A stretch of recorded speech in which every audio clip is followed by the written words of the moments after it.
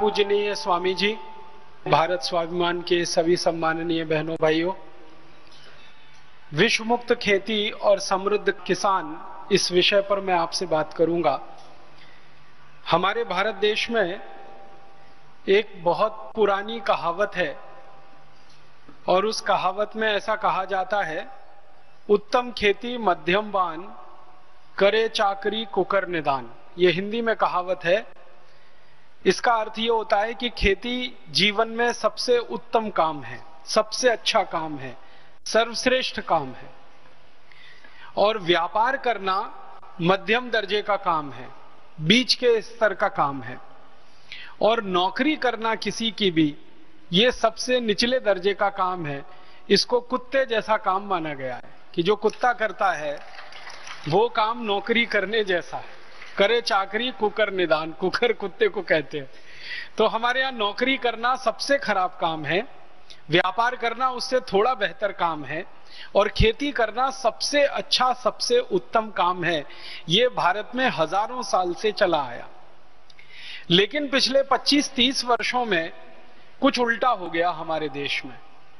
पिछले 25-30 वर्षों में ऐसा हो गया है कि खेती सबसे खराब काम है व्यापार अभी भी मध्यम दर्जे पर है और नौकरी सबसे अच्छा काम हो गया है।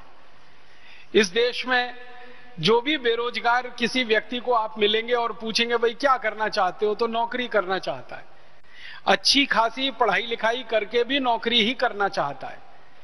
बड़े बड़े हमारे देश के विद्यार्थी बड़े बड़े से मतलब जो इंजीनियरिंग पढ़ते हैं, मैनेजमेंट की पढ़ाई करते हैं, डॉक्टरी की पढ़ाई करते हैं पाँच सात साल लगातार मेहनत करते हैं, लाखों करोड़ों रुपए खर्च करते हैं, उनसे भी पूछो तो वो भी नौकरी करना ही चाहते हैं। किसी ना किसी नौकरी में उनको जगह मिल जाए, सरकार की नौकरी हो या निजी क्षेत्र की हो, प्राइवेट सेक्टर की हो तो नौकरी इस समय सबसे अच्छा काम हो गया भारत में। व्यापार अभी भी मध्यम दर्जे पर है और खेती सबसे खराब काम हो गया। खेती सबसे खराब काम क्यों हो गया हमारे देश में? उसका कारण यह है कि जो खेती सबसे अच्छा हुआ करता था आज से 40 साल पहले, वो अब सबसे खराब है, क्योंकि खेती में खर्चा तो बहुत बढ़ गया, आमंदनी नहीं बढ़ी। जिस अनुपात में खर्चा बढ़ा, उस अनुपात में आमंदनी नहीं बढ़ी। हमारे किसान जो खेती करते हैं इस देश में, उनका पिछले 20-25 वर्षों में कितना खर्चा बढ़ा है, आप अंदाज़ा लगाना चाहें तो कुछ आंकड़े बताता हूँ। हमारे किसान खेती करते हैं सबसे ज़्यादा खर्चा करते हैं वो urea DAP super phosphate, single super phosphate, रासायनिक खाद खरीदने में। ये जो रासायनिक खादें हैं, पिछले सालों में कितनी महँगी हुई हैं? 1990 इक्यानवे में यूरिया का एक पैकेट लगभग 60 से 70 रुपए के बीच में आता था और एक पैकेट 50 किलो का होता था।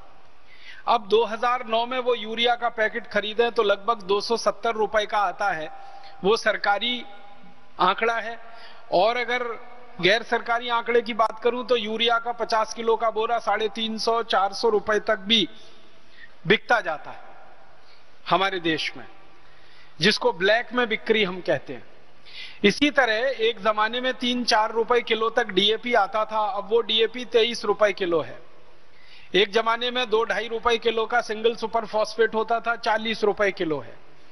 माने अगर आप इसको अनुपात में निकालें या गुने में निकालें तो यूरिया पिछले 10-15 वर्षों में सात गुना महँगा हो गया। डीएपी तो लगभग लगभग आठ से नौ गुना महँगा हो गया। सिंगल सुपर फॉस्फेट सात आठ गुना महँगा हो गया। इसी तरह से किसान के काम आने वाला डीजल, जो कभी तीन, साढ़े तीन रुपए लीटर बिका करता था, अब अड़तीस, चालीस रुपए लीटर दस गुना महँगा हो गया। माने किसान के खर्चे लगातार बढ़ रहे हैं। पाँच गुने, सात गुने, आठ गुने, दस गुने। और किसान जो रासायनिक कीटनाशक और जंतुनाशक खरीदते और इस्तेमाल करते रहे हैं, जो जंतुनाशक, जो रासायनिक कीटनाशक, सौ रुपए लीटर, डेढ़ सौ, दो सौ रुपए लीटर आते थे, आज उनकी कीमत पंद्रह हज़ार रुपए लीटर तक पहुँच गई। बीस हज़ार रुपए लीटर तक हमारे यहाँ जंतुनाशक और कीटनाशक बिक रहे हैं। तो सैकड़ों गुना महँगा किसानों के लिए जंतुनाशक, कीटनाशक और कई गुना महँगी खाद, रासायनिक, ये सब किसानों के खर्चे तो बहुत बढ़ गए हैं। लेकिन खेती से होने वाली आमंदनी उस अनुपात में नहीं बढ़ रही है। किसान का गेहूँ आज से करीब 15-16 साल पहले सात से आठ रुपए किलो बिकता था, अब वो दस रुपए किलो है। तो गेहूँ के भाव में बढ़ोतरी मुश्किल से मुश्किल 15-20 प्रतिशत हुई है। और रासायनिक खाद के भाव में बढ़ोतरी सात से आठ गुना ज़्यादा हो गई है। अगर प्रतिशत में आप निकालेंगे तो सैकड़ों प्रतिशत में वृद्धि हुई है खाद की कीमत में। लेकिन गेहूँ की कीमत जो खरीदने वाली है सरकार के द्वारा 20 प्रतिशत की ही वृद्धि हुई है। इसी तरह धान की बात करें, आज धान खरीदा जाता है सारे भारत देश में 700 से 800 रुपए क्विंटल, और आज से 12-13 साल 15 साल पहले तक खरीदा जाता था 500 रुपए क्विंटल। तो धान की कीमत में भी 20-25 प्रतिशत की बढ़ोतरी हुई है। लेकिन धान पैदा करने के लिए जो यूरिया, डीएपी, सुपरफॉस्फेट लगता है या कीटनाशक लगते हैं, उनकी कीमतों में सात आठ सौ प्रतिशत की वृद्धि हो चुकी है। तो किसान जो बेचे, उसकी कीमत तो ज़्यादा बढ़ती नहीं है। किसान जो बाज़ार से खरीदे, वो कई गुना ज़्यादा महँगा हो गया है। तो पूरी की पूरी खेती घाटे में चली गई है। अब इस घाटे की खेती को करने में किसान की जो समस्या आ रही है वो ये कि वो जब भी खेती करता है, फ़सल निर्माण करता है, फ़सल उत्पादन होती है, बिक्री होते ही सारा पैसा किसान के हाथ से निकल जाता है। वो या तो खाद खरीदने वाली कंपनियों के जेब में, या कीटनाशक खरीदने वाली, बेचने वाली कंपनियों की जेब में या किसान के लिए बीज बेचने वाली कंपनियों की जेब में किसान के पास कुछ नहीं बचता। तो दैनिक जीवन के काम चलाने के लिए किसान फिर कर्ज लेना शुरू करता है। फिर कर्ज का ब्याज भरना पड़ता है। फिर और कर्ज बढ़ जाता है। फिर और ब्याज देना पड़ता है। और आपको शायद जानकर ये तकलीफ़ होगी, दुख होगा कि भारत में किसान अकेला एक समूह है जो चक्रवर्ती ब्याज देता है कर्ज पर। हम शहरों में रहते हैं और शहरों में रहने के लिए मकान बनाना पड़ता है, बैंक से कर्ज लेते हैं, साधारण ब्याज दर पर हमें बैंक का कर्ज मिल जाता है। हम शहरों में रहते हैं, गाड़ियाँ चाहिए हमको, गाड़ी खरीदने के लिए साधारण ब्याज दर पे कर्ज मिल जाता है। लेकिन किसान अपने खेत में ट्रैक्टर अगर चलाने के लिए ट्रैक्टर खरीदे, बैल खरीदे किसान जंतुनाशक खरीदे, कीटनाशक खरीदे, उसके लिए कर्ज लेना पड़े सहकारी संस्थाओं से पद संस्थाओं से। तो चक्रवर्ती ब्याज पे कर्ज मिलता है किसानों को। और आप जानते हैं चक्रवर्ती ब्याज दुनिया में सबसे खतरनाक होती है। मैं एक दिन ऐसे ही मनोरंजन के लिए एक छोटा सा आकलन कर रहा था कि मैं अगर चक्रवर्ती ब्याज की दर पर कहीं से कर्ज ले लूँ मान लीजिए एक प्रतिशत की चक्रवर्ती ब्याज की दर पर सौ रुपए का कर्ज मैं ले लू, मात्र एक प्रतिशत की चक्रवर्ती ब्याज के दर पर सौ रुपए का कर्ज ले लू तो 250 से 300 साल में वो कर्ज इतना हो जाता है कि संपूर्ण भारत देश की पृथ्वी के बराबर का सोना अगर मैं वापस कर दूँ तो कर्ज मुक्त नहीं हो सकता। इतना खतरनाक होता है चक्रवर्ती ब्याज का चक्कर। आप में से गणित के कोई विद्यार्थी रहे हो तो आप इसका अंदाज़ा लगा सकते हैं। हमारा किसान इसी चक्रवर्ती ब्याज के चक्कर में फंसा हुआ है। इस देश का एक भी किसान भाई बहन ऐसा नहीं है जो कर्जदार न हो, क्योंकि खेती में उत्पादन के लिए जो खर्च है वो बहुत ज़्यादा और बिक्री के लिए जो लाभ है वो बहुत कम। तो हर एक किसान कर्जे में फंसा है। उस कर्जे के दुष्चक्र में अंतिम नतीजा जो निकलता है किसान के लिए वो ये कि जब वो किसी भी तरह से कर्ज वापस करने की स्थिति में नहीं होता तो उसका घर गिरवी रखता है, उसकी ज़मीन गिरवी रखी जाती है, उसके पत्नी के गहने जेवर गिरवी रखे जाते हैं, दागिने गिरवी रखे जाते हैं, अंत में गाय, बैल, भैंस उसके गिरवी रख जाते हैं। और जब सब कुछ गिरवी रख जाता है, उसके बावजूद कर्जदार उसके दरवाजे पर आकर, साहूकार उसके दरवाजे पर आकर खड़ा हो जाता है, वसूली के लिए तो किसान को अपनी इज़्ज़त बचाने के लिए एक ही रास्ता है, वो आत्महत्या कर लेता है। हमारे भारत देश में सरकार के आंकड़ों के अनुसार छप्पन हज़ार किसान हर साल आत्महत्या करते हैं इस देश में। और सरकार खुद मानती है, जो एफआईआर के रूप में दर्ज होते हैं, वो छप्पन हज़ार हैं। अगर एफआईआर ना हो और किसानों की आत्महत्याएँ हो, सरकार को पता ही ना चले, पुलिस को रिपोर्ट ना कराई जाए, ऐसी आत्महत्याओं को जोड़ा जाए तो वो लाख से ऊपर निकलता है। हमारे देश के जो राज्य जहाँ सबसे ज़्यादा किसानों की आत्महत्याएँ हो रही हैं, पंजाब है, उसके बाद हरियाणा है, फिर आप महाराष्ट्र के हैं, महाराष्ट्र है, फिर आंध्र प्रदेश है, फिर कर्नाटक है, तमिलनाडु है, केरल है, ये ऐसे छह सात राज्य सारे देश में बदनाम हो गए हैं किसानों की आत्महत्या के लिए। भारत सरकार समय समय पर आत्महत्या करने वाले किसानों के परिवारों का सर्वेक्षण कराती है और उन परिवारों से पूछा जाता है कि आखिर अब बताइए आपके घर में परिवार में आत्महत्या क्यों हुई? तो सभी परिवारों के मुँह से एक ही जवाब सुनने को मिलता है वो ये कि हमारी पूरी खेती गिरवी रख गई, हमारे गाय, बैल, भैंस गिरवी रख गए, घर के आभूषण, गहने गिरवी रखे जा चुके हैं, संपत्ति के नाम पर हमारे हाथ में कुछ नहीं है। और साहूकार का कर्ज अभी बाकी है, वो देना है। बैंक का कर्ज अभी बाकी है, वो देना है। और फ़सल इतनी अच्छी हुई नहीं है कि हम कर्ज पूरा वापस दे सकें। अगली फ़सल करने के लिए भी जेब में पैसा नहीं है। अगली फ़सल के लिए कोई बैंक कर्ज देने को तैयार नहीं है, क्योंकि पुराना कर्ज वापस करने की हमारी हैसियत नहीं है। उस स्थिति में क्या करें? आत्महत्या ही एक आखिरी उपाय बचता है। ये जवाब उन सभी किसान परिवारों के मुँह से सुनने को मिला है, जिनके यहाँ आत्महत्या हुई है। आप जानते हैं, महाराष्ट्र में विदर्भ नाम का इलाका है, जहाँ पिछले दस साल में रहता रहा वर्धा सेवा ग्राम। ये विदर्भ तो सारे देश में बदनाम हो गया है किसानों की आत्महत्या के लिए। इसी तरह आंध्र प्रदेश का एक बहुत बड़ा इलाका है, वरंगल के आसपास का। वो सारे देश में बदनाम हो गया है किसानों की आत्महत्या के लिए। पंजाब में भटिंडा के आसपास का पूरा इलाका है। सारे देश में बदनाम है किसानों की आत्महत्या के लिए। केरल में कासरगोड का इलाका है। पूरे देश में बदनाम है किसानों की आत्महत्या के लिए। कर्नाटक में उत्तरी कर्नाटक, दक्षिणी कर्नाटक बदनाम हो रहा है किसानों की आत्महत्या के लिए। धीरे धीरे धीरे धीरे ये बीमारी गहरी होती जा रही है। आखिर आप जरा सोचिए, अपने दिल पर हाथ रख के कि कोई किसान अपनी ज़िंदगी को खत्म कर ले ये तो अंतिम फैसला है और ये अंतिम फैसला कितने बड़े दर्द के बीच वो करता होगा। कोई व्यक्ति सामान्य रूप से मरना नहीं चाहता। जिसने जीवन पाया है, वो जीवन के आखिरी समय तक संघर्ष करता है ज़िंदा रहने के लिए। लेकिन किसान हमारे देश में इतना संवेदनशील बन गया है कि वो जीवन को ही खत्म कर लेता है एक मिनट में। और इससे बड़ी विडंबना क्या होगी कि हमारा किसान जिन दवाओं को लाता है कीड़े मारने के लिए, जंतु मारने के लिए, कीटनाशक मारने के लिए, उन्हीं दवाओं को पीकर वो खुद मर जाता है। इससे बड़ा अफसोस और विडंबना इस देश में क्या हो सकती है? और ये सारा का सारा दुष्चक्र हमारे देश में किसानों के कर्जे का कर्जे में फंसकर आत्महत्या करने का ये जुड़ा हुआ है खेती के घाटे से, और खेती का घाटा जुड़ा हुआ है उस व्यवस्था से, जिसमें किसान के काम आने वाला यूरिया डीएपी सुपर फॉस्फेट तो महँगा होता जाए, कीटनाशक, जंतुनाशक तो महँगा होता जाए, किसान के बीज तो महँगे होते जाए, लेकिन किसान के द्वारा उत्पादित की जाने वाली वस्तुएँ लगातार सस्ती से सस्ती बिके, और कम से कम पैसा किसानों को मिले। कारण क्या है इसका? किसानों के द्वारा जो उत्पादित की जाने वाली वस्तुएँ हैं, गेहूँ, चना, दाल आदि आदि, सैकड़ों हज़ारों किस्म की चीज़ें किसान भाई पैदा करते हैं। इनका सस्ते से सस्ता बिकने का कारण है, अंग्रेज़ों सरकार के द्वारा बनाया गया एक कानून, जो भारत में आज़ादी के तिरसठ साल के बाद भी चल रहा है।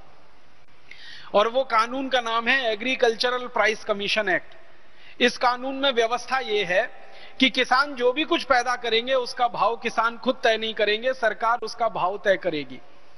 और सरकार जब इसका भाव तय करती है, खेती के द्वारा उत्पादित वस्तुओं का तो उसमें सबसे बड़ा धोखा किसानों के साथ होता है वो ये कि किसान जो गेहूँ, चना, चावल, दाल आदि पैदा करता है, इसको पैदा करने के लिए किसान जो मेहनत करता है, जो श्रम करता है, उस श्रम का, उसकी मेहनत का मूल्य सरकार उसको नहीं देती है।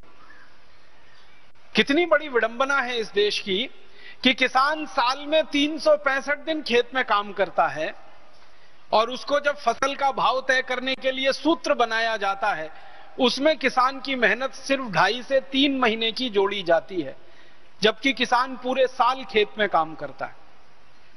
तीन सौ पैंसठ दिन खेत में काम करता है किसान, और 120 दिन की उसके श्रम की कीमत, उसके फ़सल के मूल्य को तय करने में जोड़ी जाती है।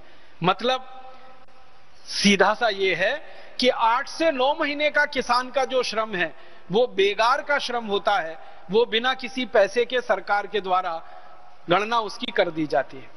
एक तो सबसे बड़ा धोखा ये है कि तीन सौ पैंसठ दिन किसान काम कर रहा है, उसका श्रम सिर्फ़ तीन से चार महीने का जोड़ा जाएगा।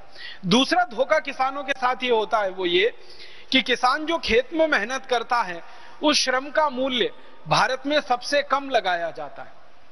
अगर कोई व्यक्ति बैंक में नौकरी करे, चतुर्थ क्लास कर्मचारी होने की स्तर की, उसका भी श्रम का मूल्य किसानों से ज़्यादा है। हमारे देश के बैंक में काम करने वाला चतुर्थ श्रेणी का कर्मचारी एक दिन में बड़े आराम से 300 से 400 रुपए अपनी मेहनत का, श्रम का मूल्य पा लेता है।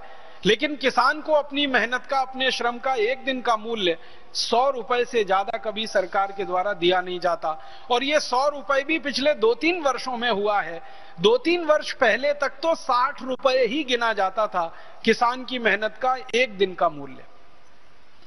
और इससे भी बड़ा दुख है, अफसोस है वो ये, कि किसान काम करता है खेत में अकेले नहीं, पूरे परिवार के साथ। लेकिन जब उसके श्रम का मूल्य जोड़ा जाता है तो सिर्फ़ अकेला। उसका पूरा परिवार काम करता, उसकी पत्नी काम करती है बच्चे काम करते। हैं उनका श्रम का मूल्य सरकार जोड़ती ही नहीं है उसमें। और इस कारण से खेती के द्वारा पैदा होने वाली हर चीज़ इस देश में बहुत सस्ती है। गेहूँ 10-11 रुपए किलो, चावल 6-7 रुपए किलो में सरकार खरीद लेती है। कपास वगैरह 12 से 15 रुपए किलो में खरीद लिया जाता है। बहुत आंदोलन हो तो 20 रुपए किलो का भाव मिल जाता है। शुगर केन, गन्ना, वो सबसे सस्ता खरीदा जाता है इस देश में किसानों के खेतों में से। और सबसे एक और मुश्किल की बात है कि किसानों से ये सब सरकार खरीद लेती है और उसका भुगतान एक एक साल तक किसानों को नहीं होता। आप सब महाराष्ट्र के रहने वाले हैं। गन्ना बेचने के लिए किसान जो जो मिलों में जाता है, शुगर मिल में जाता है, वहाँ के रिकॉर्ड्स आप चेक कर लीजिए। किसी भी किसान को कोई भी शुगर मिल तुरंत भुगतान नहीं करती, छह महीने के बाद, आठ महीने के बाद, साल भर के बाद कहीं कहीं तो दो दो साल के बाद। और ये जो महाराष्ट्र की कहानी है, वो पूरे देश की कहानी है। कपास बेच देते हैं किसान छह छह महीने साल साल भर उनका भुगतान नहीं होता है। सरकार उसको बेचकर मुनाफा कमाती रहती है, धंधा करती रहती है। किसान की जेब में पैसा नहीं आ पाता। तो इन सब कारणों से किसान की आमदनी हमेशा कम रहती है। और खर्चे उसके हमेशा से ज़्यादा रहते हैं। कितनी बड़ी विडंबना है। आप इसको दूसरे तरीके से सोचने की कोशिश करिए कि अगर मैं किसान हूँ, आप किसान है, बाज़ार में जाकर एक साबुन खरीदे पंद्रह रुपए का तो पंद्रह रुपए का सौ ग्राम साबुन खरीदने के लिए डेढ़ किलो गेहूँ बेचना पड़ जाएगा। पंद्रह रुपए का सौ ग्राम साबुन खरीदने के लिए कम से कम दो किलो धान बेचना पड़ जाएगा। अगर डेढ़ किलो गेहूँ का मूल्य हम जांचने की कोशिश करें तो डेढ़ किलो गेहूँ से अगर आटा बना दिया जाए, आटे की रोटी बना दी जाए तो दो परिवार के लिए पर्याप्त होगी। तो जितने में दो परिवार का पेट भर जाएगा, उतने रुपए का गेहूँ बेचकर एक सौ ग्राम साबुन हम बाज़ार से खरीद पाएँगे। मतलब सीधा सा ये है कि साबुन का मूल्य और उसकी कीमत बहुत ज़्यादा है, गेहूँ का मूल्य और उसकी कीमत बहुत कम है। कारण उसका यही है, साबुन पैदा करने वाले जो उद्योगपति हैं, उनको साबुन का भाव तय करने का अधिकार है। किसान गेहूँ पैदा करता है धान पैदा करता है उसको अपना भाव तय करने का ही अधिकार नहीं है। और तय भी करे तो सरकार इस फॉर्मूले से तय करती है कि उद्योगों में पैदा होने वाली वस्तुओं की कीमतें अलग तरीके से तय की जाती हैं। खेती में पैदा होने वाली चीज़ों की कीमतें बिल्कुल अलग तरीके से तय की जाती हैं। उद्योगों में जो श्रमिक काम करते हैं, उनका श्रम मूल्य बाज़ार के हिसाब से होता है और किसान जो खेतों में काम करता है, उनका श्रम मूल्य सबसे कम होता है। इसलिए किसान के ऊपर यह अत्याचार है और इसलिए खेती अभी घाटे का सौदा होती चली जा रही है। खेती के घाटे का सौदा होने का जो सबसे बड़ा कारण हम लोगों को समझ में आता है वो ये कि किसान के द्वारा खरीदा जाने वाला रासायनिक खाद, जंतुनाशक, कीटनाशक, ये उनका सबसे बड़ा खर्चा है। एक औसतन अगर मैं बात करूँ तो किसान की ज़िंदगी की आमदनी का 60 प्रतिशत हिस्सा रासायनिक खाद खरीदने में चला जाता है। 20 प्रतिशत हिस्सा जंतुनाशक और कीटनाशक खरीदने में चला जाता है और बाकी का जो 20 प्रतिशत बचा हुआ किसान का हिस्सा होता है, वो उसकी दैनिक जीवन के काम करने में खर्च हो जाता है। बेटे बेटियों का विवाह करना है, उनकी पढ़ाई करनी है, मुकदमेबाजी है, उसमें बिजली का बिल है, और दूसरे तरह के खर्चे में बाकी 20 प्रतिशत निकल जाता है। किसान के पास जमा कुछ भी नहीं बचता, इसलिए वो हमेशा कर्जदार रहता है। इसका मतलब बिल्कुल सीधा है, किसान की ज़िंदगी के जीवन के खर्चे को अगर हम अलग कर दें, जो बीस प्रतिशत का है तो बाकी का जो अस्सी प्रतिशत का खर्चा किसान की ज़िंदगी का है, वो तो रासायनिक खाद जंतुनाशक और कीटनाशक का ही है। और पिछले आज़ादी के 40-45 वर्षों में, खासकर किसानों के बीच में, सरकार के द्वारा एक बहुत बड़ा दुष्प्रचार किया गया है वो ये कि किसान अगर रासायनिक खाद नहीं डालेंगे तो उत्पादन नहीं होगा, कीटनाशक नहीं डालेंगे तो फ़सल खत्म हो जाएगी, जंतुनाशक नहीं डालेंगे तो फ़सल चौपट हो जाएगी। तो पिछले चालीसों साल से भारत के बहुत सारे कृषि वैज्ञानिक और कृषि विश्वविद्यालय, हमारे किसानों को यह समझाते चले आ रहे हैं कि आपको तो रासायनिक खाद डालना ही पड़ेगा, आपको तो जंतुनाशक डालना ही पड़ेगा, कीटनाशक डालना ही पड़ेगा, बिना उसके खेत में उत्पादन नहीं होगा। तो ये जो डर और भय हमारे किसान भाइयों के मन में बैठ गया, इस डर और भय का अंतिम दुष्परिणाम यह है कि किसानों की ज़िंदगी का 80 प्रतिशत खर्चा रासायनिक खाद, कीटनाशक और जंतुनाशक में जा रहा है। भारत के बारे में जरा जानने की कोशिश करें। कि ये रासायनिक खाद, कीटनाशक, जंतुनाशक कितने बड़े पैमाने पर इस्तेमाल हो रहा है और इसका अंतिम परिणाम क्या हो रहा है? तो भारत सरकार के सन 2004-2005 के जो आंकड़े हैं, वो मैं आपके सामने रखना चाहता हूँ, क्योंकि अभी 2008 और 2009 के आंकड़े सरकार ने जारी नहीं किए हैं। जो सबसे लेटेस्ट सरकार के डेटा हैं, स्टैटिस्टिक्स हैं, वो 2005 और 2004 के हैं। वो ये बताते हैं कि हर साल भारत के किसान अपने खेतों में एक करोड़ नब्बे लाख मीट्रिक टन रासायनिक खाद अपने खेतों में डाल देते हैं। Urea DAP diammonium phosphate, single super phosphate, ये सब तरह की रासायनिक खाद मिलाकर एक करोड़ नब्बे लाख मीट्रिक टन। अगर इसको हेक्टेयर के हिसाब से निकाला जाए तो भारत के एक हेक्टेयर खेत में लगभग हर साल 114 किलोग्राम रासायनिक खाद डाली जाती है, एक हेक्टेयर खेत में। और अगर इसको बाहर से आने वाली खाद के साथ जोड़ दिया जाए, सरकार का यह कहना है कि एक करोड़ नब्बे लाख मीट्रिक टन खाद पूरी नहीं पड़ती, इसमें कमी आती है। तो करीब 40 लाख मीट्रिक टन रासायनिक खाद सरकार हर साल विदेशों से आयात करती है, और वो भी इसमें जोड़ दिया जाए तो ये आंकड़ा और बड़ा हो जाता है। अब ये पूरी की पूरी खाद जो हमारे खेतों में डाली जा रही है, इसका मूल्य कितना है? और इसके साथ जो कीटनाशक डाले जा रहे हैं, उसका मूल्य कितना है? वो भी सरकार के आंकड़ों के हिसाब से मैं आपको बताना चाहता हूँ। ये जो खाद डालते हैं, रासायनिक यूरिया डीएपी सुपरफॉस्फेट आदि आदि, इसके बारे में सभी वैज्ञानिकों का जो शोध है, वो ये कहता है कि जितनी ज़्यादा रासायनिक खाद आप डालेंगे, उतने ही ज़्यादा जीव जंतु आपके खेत के फ़सल को बर्बाद करेंगे। ये बड़ा अजीब सा है। ये जो संबंध है ना, खाद ज़्यादा डालो तो ज़्यादा से ज़्यादा कीड़े आएँगे, ज़्यादा से ज़्यादा जंतु आएँगे। अब ज़्यादा से ज़्यादा जंतु आएँगे तो उनको मारने के लिए फिर जंतुनाशक और डालो, फिर कीटनाशक और डालो। माने खाद ज़्यादा डालने का दुष्परिणाम ज़्यादा जहर डालना अपने खेत में, जंतुनाशक और कीटनाशक के रूप में। हमारे देश के सरकारी आंकड़े बताते हैं, Indian Council of Agricultural Research के 1950 में हमारे देश के एक हेक्टेयर खेत में मुश्किल से तीन किलो रासायनिक खाद पड़ती थी। तब हमारे देश में जंतुनाशक और कीटनाशक सबसे कम बिकते थे।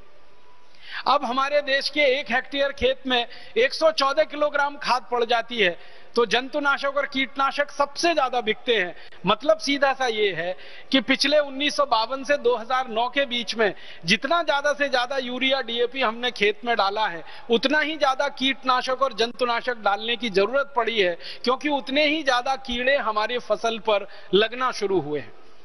ये चक्कर क्या है ये जरा समझना चाहिए। सरल शब्दों में मैं समझाना चाहता हूँ। होता क्या है कि जब हम यूरिया डीएपी सुपरफॉस्फेट खेत में डालते हैं तो खेत की मिट्टी में किसान की मदद करने वाले, फ़सल की मदद करने वाले करोड़ों करोड़ों जीव होते हैं। आपने बचपन में थोड़ा भी विज्ञान पढ़ा होगा, कृषि विज्ञान तो आपने दो शब्द पढ़े होंगे, एक मित्र जीव और एक शत्रु जीव। एक मित्र कीट और एक शत्रु कीट हमारे खेत की मिट्टी में किसानों की मदद करने वाले भी जीव है और किसानों को नुकसान पहुँचाने वाले भी हैं। जब हम यूरिया, डीएपी ज़्यादा डालते हैं तो किसानों की मदद करने वाले जो मित्र कीट होते हैं, वो सब मर जाते हैं, मित्र जीव सब मर जाते हैं। और उनके मर जाने के कारण जो शत्रु कीट और शत्रु जीव हैं, वो फ़सल पर हावी हो जाते हैं और फ़सल को बर्बाद करने में कोई कसर नहीं छोड़ते। और किसानों को वो नुकसान से बचने के लिए फिर बहुत ज़्यादा कीटनाशक और जंतुनाशक डालना पड़ता है और उससे खेती का खर्च बहुत बढ़ता चला जाता है। हमारे देश के खेतों में एक करोड़ नब्बे लाख मीट्रिक टन जो रासायनिक खाद डाला जा रहा है, उसके कारण हर साल नब्बे हज़ार मीट्रिक टन कीटनाशक और जंतुनाशक डालना पड़ता है। अब नब्बे हज़ार मीट्रिक टन जंतुनाशक और कीटनाशक हम खेत में डाल देते हैं और एक करोड़ नब्बे लाख मीट्रिक टन रासायनिक खाद डाल देते हैं। दोनों जहर अगर मिला लिया जाए तो ये कहाँ पहुंचेगा और किस स्तर पर हमको प्रभावित कर रहा है, इसको जरा समझें। हमारे भारत में 115 करोड़ लोग रहते हैं जो भोजन करते हैं। आपको मालूम है, जितना रासायनिक खाद, जंतुनाशक, कीटनाशक हम खेत में डालेंगे, वो सब मिट्टी में जाएगा। मिट्टी से पौधों की जड़ों में आएगा, पौधों की जड़ों से तने में आएगा, पत्ते में आएगा, फल में आएगा, और अंतिम रूप से वो आपके पेट में आएगा। अगर खेत में गेहूँ पैदा किया गया, यूरिया, डीएपी से, और उसमें कीटनाशक, जंतुनाशक डाला गया तो उस गेहूँ को जो भी खाएगा उसके पेट में वो कीटनाशक जहर जाएगा ही। उसके पेट में वो रासायनिक खाद का जहर जाने ही वाला है। इसी तरह से धान के खेत में, इसी तरह से दालों के, सब्जियों के खेत में, जो भी खेत में आप डालेंगे, अंतिम रूप से वो आपके पेट में आने वाला है। तो उस हिसाब से कुछ मैंने निकालने की, जानने की कोशिश की तो पता ये चला कि एक साल में जितना कीटनाशक हमारे खेतों में डाला जाता है और एक साल में जितना यूरिया डीएपी रासायनिक खाद खेतों में डाला जाता है, अंत में वो हमारे पेट में आता है। तो भारत देश के हर व्यक्ति के पेट में साल में एक किलो सात ग्राम तो रासायनिक खाद चला जाता है। एक किलो सात सौ ग्राम। और कीटनाशकों का जो जहर है इंसेक्टिसाइड, पेस्टिसाइड्स का, वो करीब करीब 200 ग्राम हमारे हर व्यक्ति के पेट में चला जाता है। माने हर साल भारत का व्यक्ति एक किलो 700 ग्राम तो यूरिया, डीएपी, सुपरफॉस्फेट खा रहा है और करीब 200 ग्राम भारत का हर व्यक्ति कीटनाशक, जंतुनाशक जिनको अंग्रेज़ी भाषा में कहते हैं chlorpyrifos dichromate, monocrotophos DDT endosulfan, malathion, parathion, benzene hexachloride आदि आदि नामों से जिन कीटनाशक और जंतुनाशकों को हम जानते हैं, ये हर साल हर व्यक्ति के पेट में 200 ग्राम जा रहे हैं। और रासायनिक खाद के रूप में एक किलो 700 ग्राम जा रहे हैं। अब ये अलग बात है कि भगवान ने आपको दो अच्छे से किडनी दे रखी है, जो इस जहर की सफ़ाई करती रहती है। और अगर जहरीले कीटनाशक और जंतुनाशक की बात करें तो किलो किलो, क्विंटल के क्विंटल, सौ साल की उम्र तक आदमी खाता ही है। और इसका अंतिम दुष्परिणाम क्या है? कि आप जब ये यूरिया खा रहे हैं डीएपी खा रहे हैं, सुपर फॉस्फेट खा रहे हैं और जहरीले कीटनाशक, जंतुनाशक खा रहे हैं तो अंत में आपके शरीर को जो बीमारियाँ हो रही हैं और उससे जो मौतें पूरे देश में हो रही हैं, वो हमारे लिए बहुत ही दर्दनाक है। हमारे देश में पाँच से सात लाख लोग कैंसर से हर साल मर रहे हैं, सरकार के आंकड़े हैं और रिपोर्टेड केस है। हमारे देश के आईसीएमआर के डॉक्टर कहते हैं कि अनरिपोर्टेड केस को जोड़ लें तो ये 10 लाख से भी ऊपर निकल सकते हैं। हमारे देश में करोड़ों लोग डायबिटीज़ के शिकार हैं। करोड़ों लोगों को हाइपरटेंशन है ब्लड प्रेशर की बीमारी है। करोड़ों लोगों को अस्थमा है, दमा है ब्रोंकियल अस्थमा है। घुटनों का दर्द है, कमर का दर्द है, कंधों का दर्द है, जोड़ों का दर्द है। आपको मालूम है किडनी फेलियर के लाखों लाखों जो केस हमारे यहाँ आ रहे हैं, ये सारी की सारी बीमारियों के जड़ में अगर कोई है तो रासायनिक खाद, कीटनाशक और जंतुनाशक का भोजन जो रोज आप खा रहे हैं। हर आदमी हिंदुस्तान में आधा मिलीग्राम जंतुनाशक रोज खा जाता है, चाहे सब्ज़ी को कितना भी धोकर आप पकाएँ। आप सभी माताएँ, बहनें ये कहेंगी, हम तो सब्ज़ी को बहुत अच्छे से धो लेते हैं और बहुत अच्छे से गर्म पानी में धो लेते हैं। कई कई बहनें तो उनको कुछ घोल डालकर, पोटेशियम परमैंगनेट के घोल में डालकर धो लेती है। आप कितना भी धो लीजिए, आधा मिलीग्राम जहर तो रोज जाना ही है आपके शरीर में सब्जियों के माध्यम से। और यही जहर इकट्ठा होते होते आपको भयंकर बीमारियों का कारण। हमारे देश में कई विशेषज्ञों ने कुछ गंभीर शोध किए हैं। मैं उनकी दो तीन बातें जो बहुत महत्व की हैं, आपसे कहना चाहता हूँ कि आजकल हमारी माताओं में और पुरुषों में नपुंसकता की जो बीमारी बहुत तेज़ी से बढ़ी है, बहुत सारी माताएँ, बहुत सारे पुरुष बच्चा पैदा करने में असमर्थ हैं, संतान का सुख लेने में असमर्थ हैं। इसका मूल जो कारण है, वो जंतुनाशक और कीटनाशक का भोजन है। फिर हमारे देश में ब्रेन कैंसर फिर हमारे देश में ब्लड कैंसर इन दोनों के सबसे ज़्यादा जो केसेस बढ़ रहे हैं, उसका कारण जंतुनाशक, कीटनाशक और जहरीला रासायनिक भोजन है।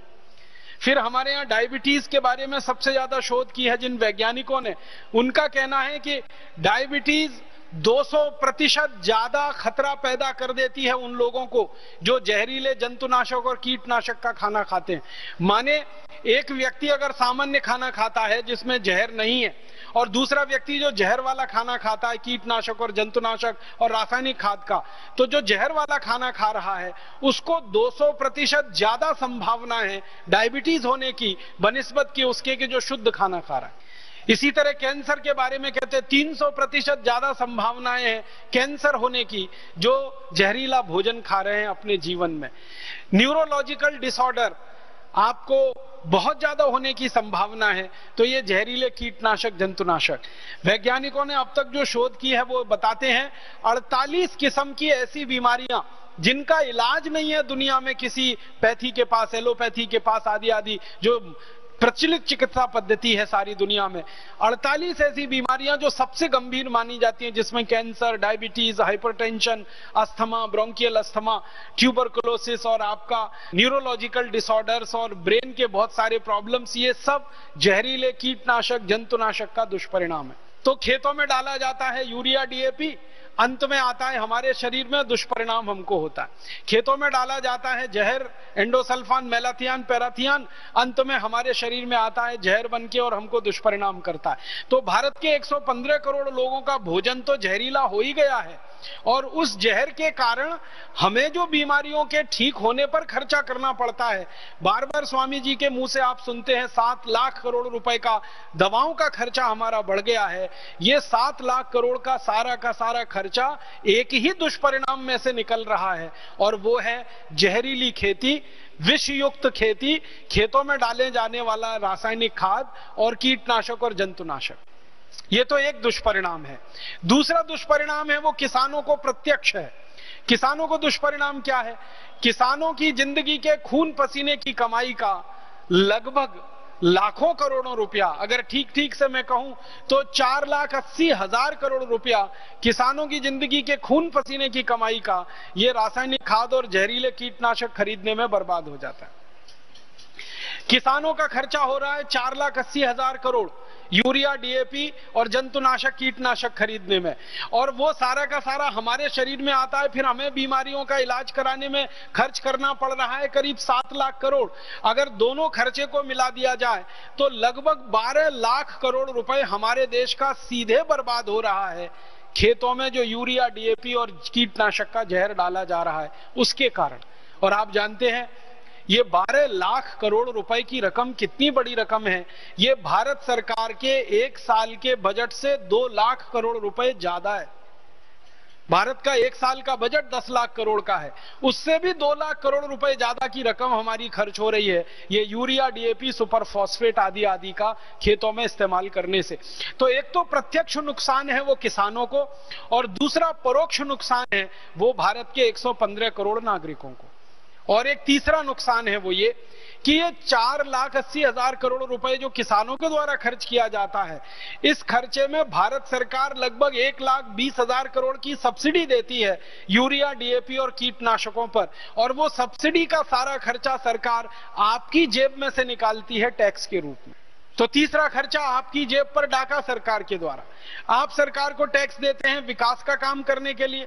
उस टैक्स के पैसे में से एक लाख बीस हज़ार करोड़ रुपए सरकार खर्च कर देती है। यूरिया, डीएपी और कीटनाशक कंपनियों को दे देते हैं वो, ताकि किसानों को ये आसानी से और सस्ता उपलब्ध हो जाए। तो आपकी जेब से भी पैसा जा रहा है, किसान की जेब से भी पैसा जा रहा है।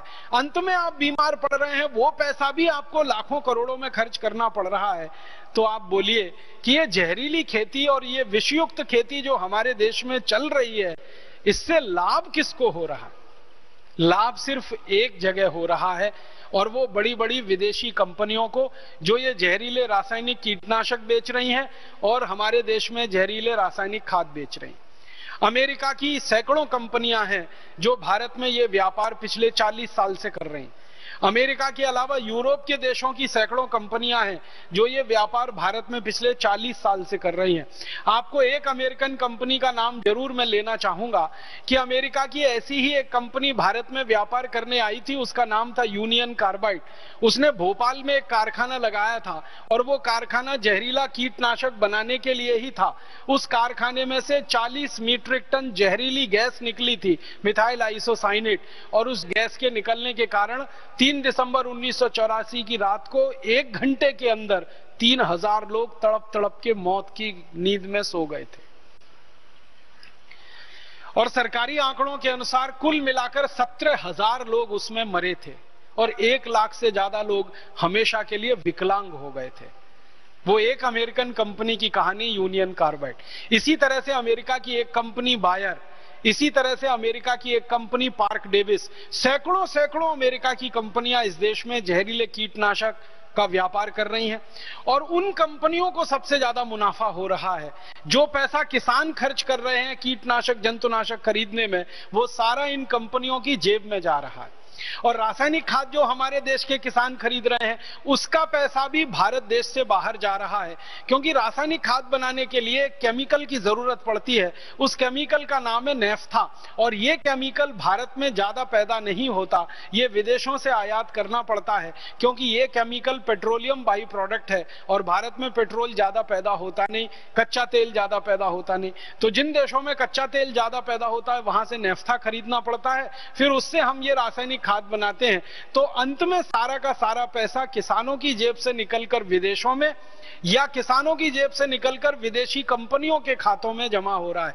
माने हर साल का जो हम 12 लाख करोड़ रुपया फालतू में बर्बाद कर रहे हैं इस देश का, वो या तो अमेरिका को समृद्ध बना रहा है, अमेरिकन कंपनियों को समृद्ध बना रहा है, यूरोप की कंपनियों को समृद्ध बना रहा है, किसानों को गरीब और कंपनियों को अमीर, ऐसा बनाने की व्यवस्था हमारे देश में चल रही है। और मुझे बहुत अफसोस है ये कहते हुए कि जिन बड़ी बड़ी विदेशी अमेरिकन, यूरोपियन कंपनियों का ये कीटनाशक, जंतुनाशक हमारे देश में बिकता है, आप ये बोलेंगे, आखिर ये किसान उसको खरीदते क्यों है? ज़रूरत क्या है? तो मैं आपको बताऊँ कि इन कंपनियों के बड़े बड़े एजेंट गाँव गाँव में घूमते रहते हैं और किसानों को ये समझाते रहते हैं, देखो ये बहुत अच्छा कीटनाशक आया, ये बहुत बहुत अच्छा जंतुनाशक आया, एक स्प्रे करो तो सब कीड़े मर जाते हैं, एक स्प्रे करो तो सब जंतु मर जाते हैं, और धीमे से कहते हैं, बस कीमत इसकी पंद्रह हज़ार रुपए लीटर है। फिर किसान को समझाया जाता है कि पंद्रह हज़ार रुपए लीटर भी तुमको महँगा नहीं पड़ेगा, क्योंकि एक कीटनाशक है जो पंद्रह सौ रुपए लीटर है, वो तुम पैंतीस चालीस बार स्प्रे करोगे, उससे अच्छा ये है कि ये पंद्रह हज़ार रुपए लीटर का एक दो बार ही स्प्रे कर लो। तो इस तरह के कैलकुलेशन में किसानों को फंसाकर वो कंपनियाँ अपना खूब माल बेच लेती हैं और किसान भोले वाले सीधे साधे उसको खरीद लेते हैं। किसानों से जब हम बात करते हैं कि भाई आप इनके चक्कर में क्यों फंस जाते हैं तो वो अपनी राम कहानी सुनाते हैं, वो कहते हैं, कीड़ा आ गया फ़सल पर, अब क्या करें? फ़सल चौपट हो जाएगी, उसको बचाना है, क्योंकि अगला फ़सल लगाने के लिए कर्ज लेना है, कर्ज के लिए ब्याज देना है तो पैसे तो हाथ में चाहिए तो फ़सल बर्बाद होते हुए हम नहीं देख सकते तो किसी भी कीमत पर यह फ़सल बचानी है, इसके लिए कितना भी बड़ा खर्च हम करने को तैयार हो जाते हैं। ये किसानों की अपनी कहानी। तो ये दोनों तरह से दुष्चक्र चलता है और अंत में किसान पिसता है और आप सब इस जहरीले आक्रमण के शिकार होकर बीमारियों में फंसते चले जाते हैं। मैं आपको एक छोटी सी जानकारी और देना चाहता हूँ कि हमारे देश में ये जो कंपनियाँ जहर बेच रही हैं, ये जहर किस किस राज्य में कितना कितना बिक रहा है? और कैसे उनका इस्तेमाल किसानों के बीच में करवाया जा रहा है? कुछ राज्यवार आंकड़े हैं। सबसे ज़्यादा ये जहर जो डाला जा रहा है वो उत्तर प्रदेश में है। उत्तर प्रदेश में एक साल में 6,855 मीट्रिक टन जहर डाल दिया जाता है खेत में पेस्टिसाइड और इंसेक्टिसाइड के रूप में। फिर उत्तर प्रदेश के बाद दूसरा नंबर है पंजाब का। पंजाब में हर साल 6,900 मीट्रिक टन जहर डाल दिया जाता है। कीटनाशक और जंतुनाशक का। फिर तीसरे नंबर पे है हरियाणा जहाँ 4,520 मीट्रिक टन जहर डाल दिया जाता है हर साल। फिर उसके बाद गुजरात है फिर आंध्र प्रदेश है फिर उसके बाद मध्य प्रदेश है फिर महाराष्ट्र है फिर ऐसे हिंदुस्तान के 33 राज्य हैं। कुल मिलाकर मैंने आपको बताया नब्बे हज़ार मीट्रिक टन है। जो जो कीटनाशक जंतुनाशक डाले जाते हैं उनमें जो सबसे ज़्यादा डाला जा रहा है डीडीटी डीडीटी के बारे में मैं आपको एक जानकारी बता दूँ वो ये कि दुनिया के छप्पन देशों में डीडीटी बनाना डीडीटी बेचना दोनों कानूनन जुर्म है।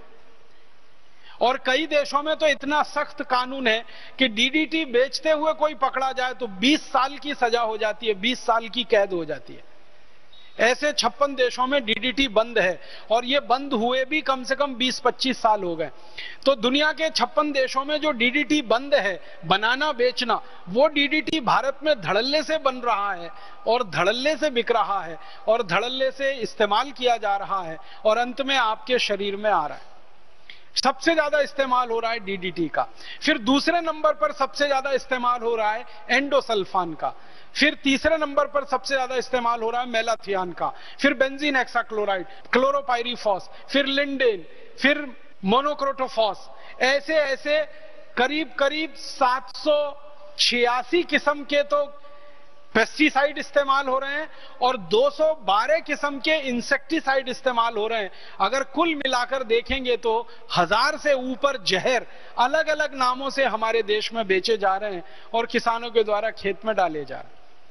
एक और जो गंभीर बात है जो मैं आपसे कहना चाहता हूँ कि ये जहर में जो करीब हज़ार ग्यारह सौ किस्म के कीटनाशक और जंतुनाशक भारत में डाले जा रहे हैं, इनमें से 50 प्रतिशत जंतुनाशक और कीटनाशक उन देशों में पूरी तरह से बंद हैं, जिन देशों की कंपनियों के द्वारा भारत में बेचे जा रहे हैं।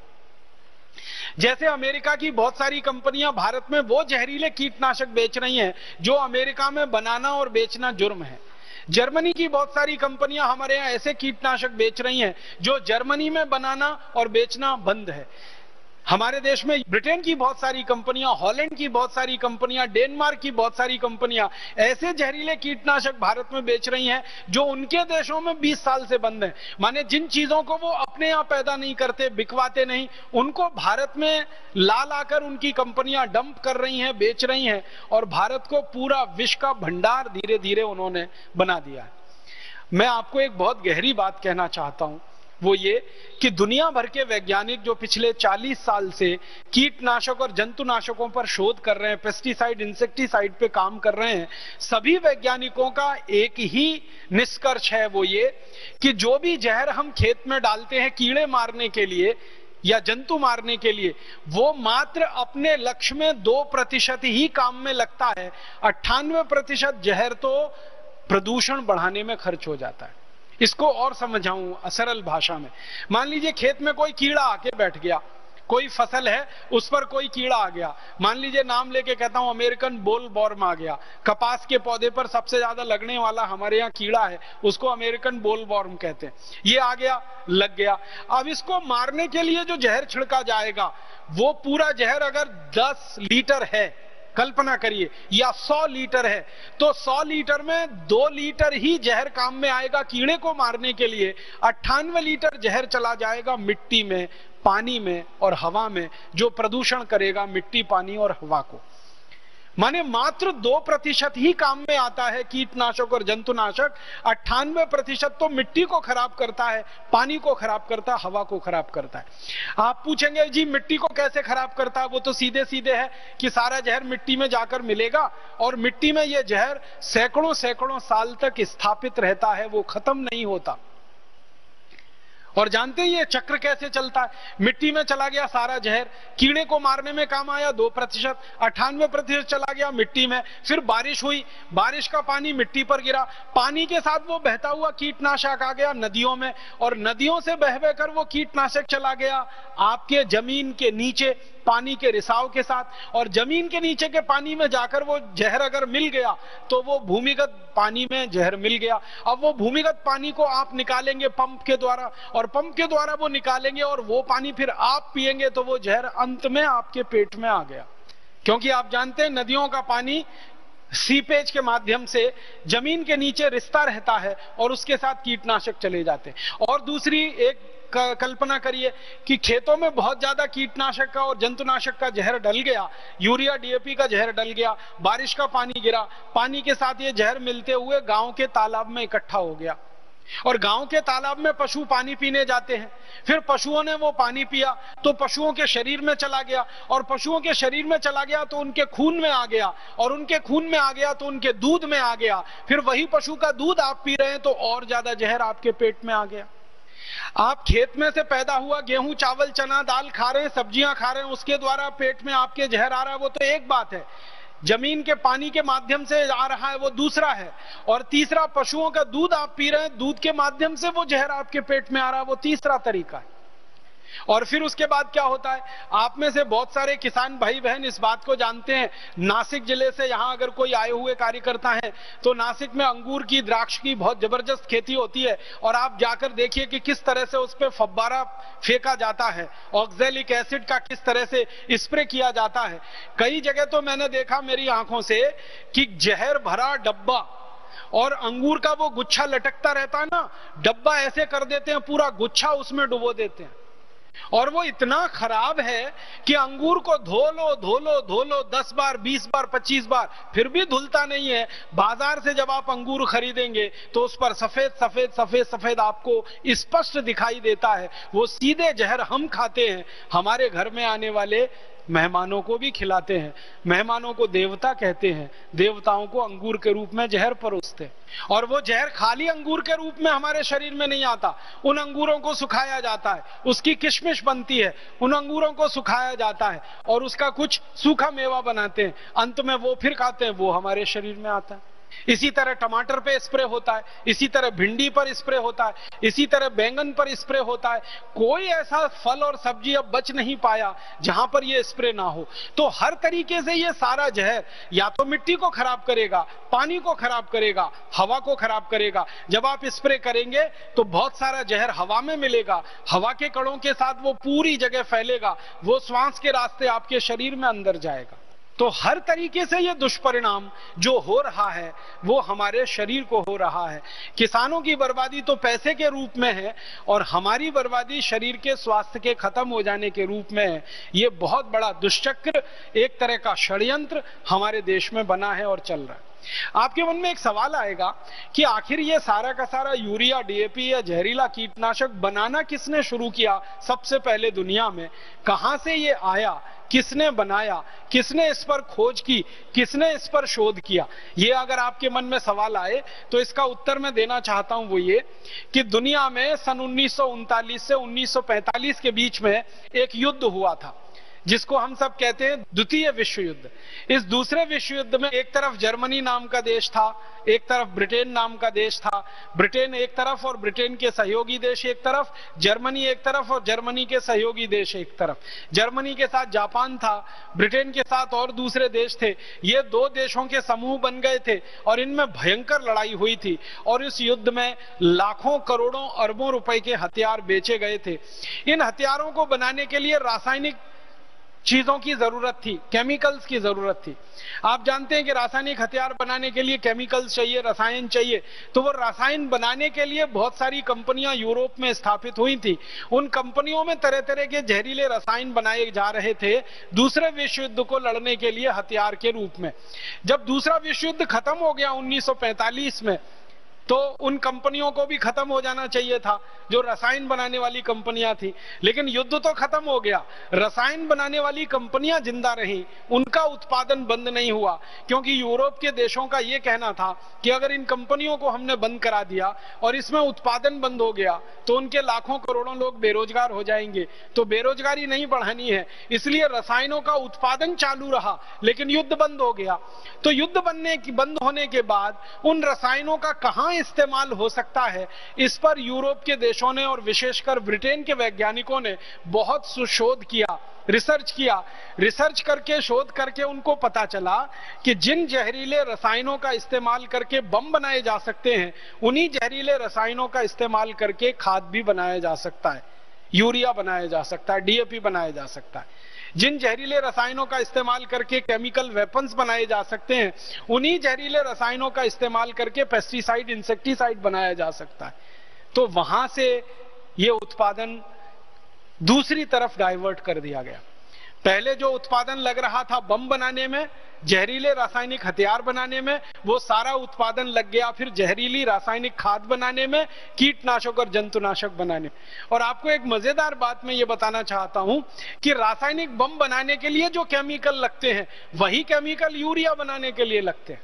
रासायनिक बम बनाने के लिए जो केमिकल इस्तेमाल होते हैं, वही केमिकल पेस्टिसाइड और इंसेक्टिसाइड बनाने के लिए इस्तेमाल होते हैं। केमिकल सेम है, एक ही जैसे हैं, बनू, बस उनकी मात्रा में कमी ज़्यादा की जाती है। बम बनाने के लिए बहुत ज़्यादा मात्रा में और बहुत कंसंट्रेटेड रूप में इस्तेमाल होते हैं और रासायनिक खाद बनाने के लिए कम मात्रा में और डाइल्यूटेड फॉर्म में इस्तेमाल होते हैं। बस अंतर इतना ही है, लेकिन इस्तेमाल दोनों जगह एक ही है।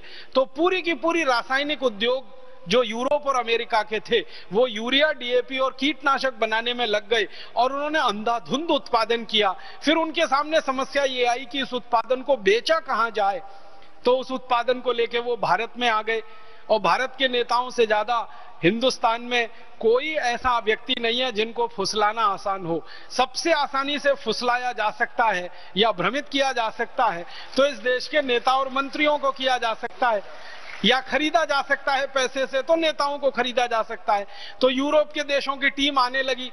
1950 और 60 के दशक में, और भारत के नेताओं को यह समझाना उन्होंने शुरू किया कि आप केमिकल फर्टिलाइज़र खरीदो हमसे पेस्टिसाइड खरीदो इंसेक्टिसाइड खरीदो, खेतों में डलवाओ, इतना फ़ायदा इतना फ़ायदा इतना फ़ायदा। और भारत के नेता फंस गए इस दुष्चक्र में, थोड़ा बहुत उनके रिश्वत के लालच में, उन्होंने तुरंत हरी झंडी दिखा दी, और यूरोप से ये सारा कचरा, रसायन भारत में आना शुरू हो गया। अब भारत के किसानों ने इसका इस्तेमाल किया नहीं तो सरकार ने एक योजना बनाई, और उस योजना के लिए इस देश में एक विभाग खड़ा किया गया, जिसका नाम है खंड विकास विभाग, ब्लॉक डेवलपमेंट डिपार्टमेंट। उसमें एक अधिकारी नियुक्त किया गया, जिसको आजकल कहते हैं बीडीओ ब्लॉक डेवलपमेंट ऑफिसर। इस अधिकारी का एक ही काम होता था गाँव गाँव जाना, किसानों को फुसलाना और उनके खेत में यूरिया डलवाना।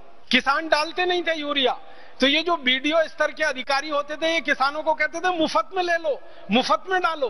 तो भी किसान तैयार नहीं होते थे तो ज़बरदस्ती उनके खेतों में डलवाते थे। और यूरिया एक ऐसा जहर है, जैसे शराब होती है ना, किसी आदमी को जिसने ज़िंदगी में कभी शराब ना पी हो ज़बरदस्ती एक दो बार आप पिला दो, फिर ऐसा चस्का लगता है कि वो खरीद के पीने लगता है।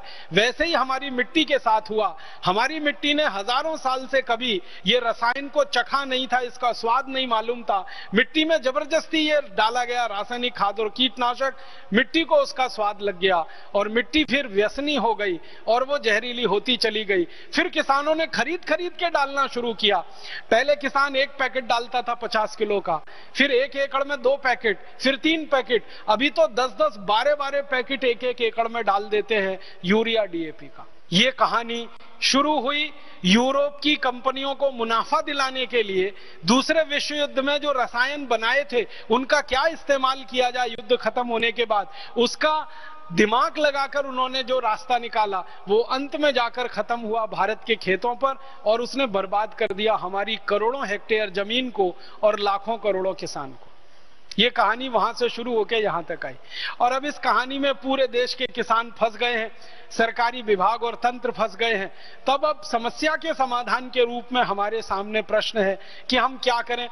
एक रास्ता तो ये है कि ये जो जहरीली खेती चल रही है पूरे भारत देश में, इसको चलने दिया जाए।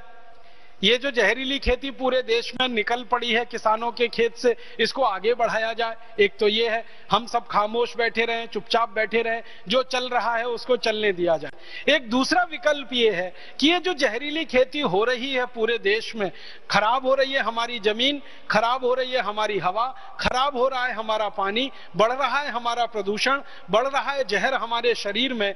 इतना जहर बढ़ गया है हमारे शरीर में कि दिल्ली में All India Institute of Medical Sciences ने कुछ माताओं के दूध का परीक्षण किया तो माताओं के दूध में डीडीटी निकला। इतना जहर बढ़ गया। यह जहर की दो कहानियाँ मैं ज़रूर सुनाना चाहूँगा। अंदाज़ा लगे आपको। भारत देश में यह पंजाब हमारे बिल्कुल पड़ोस में है। वहाँ का एक छोटा सा गाँव है, मैं वहाँ गया हूँ। उस गाँव का नाम है हरि किशनपुरा छोटा सा गाँव है पंजाब का बठिंडा के नज़दीक का। हरिकिशनपुरा गाँव में मैं गया तो आपको हैरानी होगी, मुझे बहुत हैरानी हुई। गाँव के बाहर एक बोर्ड लगा हुआ था, बहुत बड़ा। उस पर गुरुमुखी भाषा में कुछ लिखा हुआ था। मैंने एक पंजाबी गुरुमुखी जानने वाले मेरे सहयोगी को पूछा, मैं पूछा, ये क्या लिखा है? गाँव के बाहर बड़ा सा बोर्ड लगा है। तो उसने बड़ी गंभीरता से कहा कि राजीव भाई, इस पर लिखा हुआ है, ये हरिकिशनपुरा पूरा का पूरा गाँव बिकने के लिए तैयार है, कोई खरीददार हो तो संपर्क करे। आपको तो इसमें हँसी आएगी। लेकिन मुझे तो रोना आ गया। मैंने कहा, ये क्या लिखा? उसने कहा, यही लिखा है। मैंने कहा, सच? कि उसने कहा, बिल्कुल सच। ये गाँव बिकने को तैयार है। तो क्यों? तो उन्होंने कहा, ये तो नहीं मालूम, गाँव में चलो तो पूछते। तो हम गाँव में गए। एक सरदार जी से सबसे पहले मुलाकात हुई। हमने उनको पूछा कि आपके गाँव के बाहर बोर्ड लगाए कि गाँव बिकाऊ है, बिकने को तैयार है। उसने कहा कि इस गाँव का हर किसान परिवार छह लाख रुपए का कर्जदार है। हम में से किसी में इतनी हैसियत नहीं है कि हम हमारा कर्ज वापस कर सकें। इसलिए हमने ये बोर्ड लगा दिया है कि कोई आए और हमारे गाँव को खरीद ले, हर परिवार को छह लाख रुपए दे दे। हम ये कर्ज हमारा चुकाना चाहते हैं और ज़िंदगी भर के लिए जो हमारा गाँव खरीदेगा, उसकी गुलामी करने को हम तैयार हैं, हम बहुत दुखी हैं, हम बहुत परेशान हैं, हर परिवार पर छह लाख रुपए का कर्ज है। वो भाई को हमने पूछा, ये कर्ज कैसे हो गया? तो उन्होंने कहा, इस गाँव की मुख्य फ़सल है, वो कपास है। और कपास की फ़सल पर 35 बार हमको स्प्रे करना पड़ता है जहरीली दवाओं का। 35 बार। कपास की फ़सल पर 35 बार स्प्रे करना पड़ता है। क्यों? तो उन्होंने कहा, इतने कीड़े आते हैं, इतने जंतु आते हैं कि हमारी फ़सल पूरी खराब हो जाती है। इसलिए 35 बार स्प्रे करते हैं और स्प्रे करने के लिए दवाएँ खरीदते हैं। पंद्रह पंद्रह हज़ार रुपए लीटर की दवाएँ खरीदते हैं, उसका स्प्रे करते हैं। कई बार वो स्प्रे भी फेल हो जाता है, फ़सल भी चौपट हो जाती है। साहूकार से कर्ज लेकर अगली फ़सल लगानी पड़ती है। इस चक्कर में हमारा कर्ज हर परिवार पर छह लाख रुपए हो गया। फिर वो सरदार जी को मैंने पूछा कि आज से 40 साल पहले आपके यहाँ खेती करते थे तो भी ऐसे ही स्प्रे करते थे? उन्होंने कहा, बिल्कुल नहीं करते थे। 40 साल पहले तो कोई स्प्रे नहीं करता था। क्यों? क्योंकि फ़सल पे कीड़ा लगता ही नहीं था। तो मैंने वो सरदार जी से ही पूछा कि आप याद करके बताओ 40 साल पहले फ़सल पे कीड़ा नहीं लगता था? क्या करते थे आप ऐसा? और अब इतना कीड़ा लगता है, क्या करते हो ऐसा? तो सरदार जी ने बहुत सोचकर बताया तो कहा कि 40 साल पहले हम गाय, बैल, भैंस का गोबर और उसका मूत्र खेत में डालते थे तो हमारे फ़सल पर कीड़ा नहीं लगता था। अब हमने यूरिया डीएपी डालना शुरू किया तो इतना कीड़ा लगता है कि हम कीड़े को मारने की दवा खरीद खरीद के कर्जदार हो चुके ये हरि किशनपुरा गाँव की कहानी है। और आपको ये सुनकर और दुख होगा कि ये हरि किशनपुरा जैसा भारत में कोई एक गाँव नहीं है, ऐसे भारत में हज़ारों गाँव हैं जो इतने कर्जे में डूबे हुए हैं, बिकने को तैयार हैं। मैं विदर्भ में दस साल रहा हूँ। दस साल में विदर्भ में मैंने सौ से ज़्यादा गाँव देखे हैं, जहाँ इसी तरह के बोर्ड लगे हुए हैं। ये गाँव बिकाऊ है, ये गाँव बिकाऊ है, क्योंकि गाँव के किसानों पर कर्ज बहुत हो गया। ये एक कहानी, एक और कहानी मैं सुनाना चाहूँगा आपको कि ये यूरिया डीएपी और जहरीले कीटनाशकों का क्या दुष्परिणाम होता है। मैं एक बार गया था केरल के ज़िले कासरगौड में। कासरगौड एक जिला है केरल का, कर्नाटक के बॉर्डर पे है। कर्नाटक का एक जिला है उडुपी। उडुपी जहाँ से समाप्त होता है, कासरगौड जिला वहीं से शुरू हो जाता है। तो उडुपी और कासरगौड के बीच का इलाका, वहाँ एक गाँव है, उसका नाम है पडरे। पडरे गाँव में सबसे ज़्यादा खेती होती है काजू की। और काजू का फ़सल ऐसा ही फ़सल है जिसमें सबसे ज़्यादा कीड़ा लगता है। जैसे कपास की फ़सल पर सबसे ज़्यादा कीड़ा लगता है, वैसे ही काजू की फ़सल पर सबसे ज़्यादा कीड़ा लगता है। पडरे गाँव में करीब साढ़े चार हज़ार एकड़ ज़मीन पर काजू के बागान हैं, काजू के पेड़ लगे हुए तो उसमें क्या होता है 20 साल से वहाँ के किसान जो काजू की खेती करते हैं, वो एक हेलीकॉप्टर किराए पे लेते हैं और उसमें जहरीले कीटनाशक जिसका नाम एंडोसल्फान है, वो हेलीकॉप्टर में भरा जाता है और पूरे गाँव के काजू के पेड़ पर जो 4700 एकड़ में है, वो छिड़का जाता है एंडोसल्फान। 20 साल से लगातार। जब मैं पहली बार उस गाँव में गया था, तब उन्होंने बताया कि हम 20 साल से ये छिड़क रहे हैं। और लगातार वो छिड़कने का दुष्परिणाम क्या हुआ है कि वो मैंने आपको बताया, दो प्रतिशत एंडोसल्फान तो कीड़े मारने में चला जाता है, अट्ठानवे प्रतिशत गाँव के तालाब में जाके घुल जाता है। और गाँव के तालाब का पानी गाँव के लोग पीते हैं तो उनके शरीर में वो एंडोसल्फान आ जाता है। परिणाम ये हुआ है कि पिछले 20 वर्षों से पडरे गाँव में कोई भी नया बच्चा पैदा नहीं हुआ है। ताली मत बजाइए इस पे। 20 साल से नया बच्चा पैदा नहीं हुआ है। नपुंसकता इतनी अधिक है उस गाँव में, स्त्री और पुरुषों में। बच्चे पैदा होने की संभावना नहीं। पुरुषों के वीर में शुक्राणु नहीं है। माताओं को अंडाणु नहीं बन रहे हैं। और उस पर रिसर्च करने के लिए Indian Council of Medical Research की जब टीम गई, एक बहुत बड़े वरिष्ठ डॉक्टर के नेतृत्व में डॉक्टर मोहन कुमार उनका नाम है। उन्होंने जब पूरे गाँव के लोगों का ब्लड सैंपल लिया तो पता चला कि गाँव के लोगों के खून में एंडोसल्फान नाम का कीटनाशक घुस गया है। और जितना मनुष्य की सहन करने की शक्ति है, जिसको हम टॉलरेंस लिमिट कहते हैं, उससे 40 गुना ज़्यादा है। ये गाँव के लोगों का खून रक्त परीक्षण जब किया तो डॉक्टर मोहन कुमार की टीम ने ये पाया। और वो टीम ने फिर बताया कि ये खून में इतना ज़्यादा एंडोसल्फान है, इन लोगों को तो सवाल गुना ज़्यादा है। ये गाँव के लोगों का खून रक्त परीक्षण जब किया तो डॉक्टर मोहन कुमार की टीम ने ये पाया। और वो टीम ने फिर बताया कि ये खून में इतना ज़्यादा एंडोसल्फान है, इन लोगों को तो सवाल ही नहीं उठता कि बच्चे पैदा हो जाए। फिर पता लगाया गया कि बच्चे पैदा नहीं हो रहे हैं, ये तो एक बीमारी और क्या क्या है? उस गाँव में पता चला, हर घर का दूसरा और तीसरा आदमी कैंसर का शिकार है। हर घर में।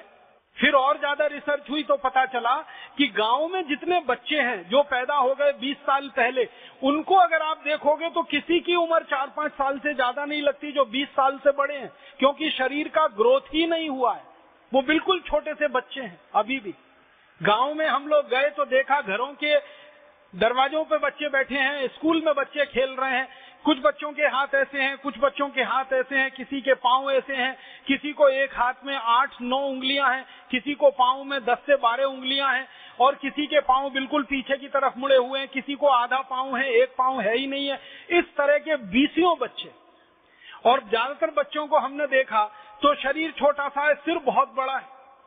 एक बच्चे का सिर इतना बड़ा कि वो हिला नहीं सकता, हमेशा लेटा रहता।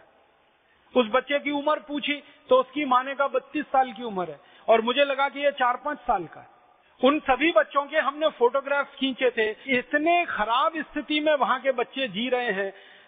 उठा नहीं सकते शरीर को। सिर बहुत भारी है। हाथ पाँव एकदम छोटे हैं। या सिर एकदम छोटा है, हाथ पाँव बहुत भारी है। या किसी को आँखें जो है ना जन्म से अंधे हैं, कोई बोल नहीं पाता है, किसी को हमेशा मुँह टेढ़ा रहता है, ऐसा लगता है जैसे पैरालिसिस हो गया। न्यूरोलॉजिकल डिसऑर्डर उस गाँव में सबसे ज़्यादा।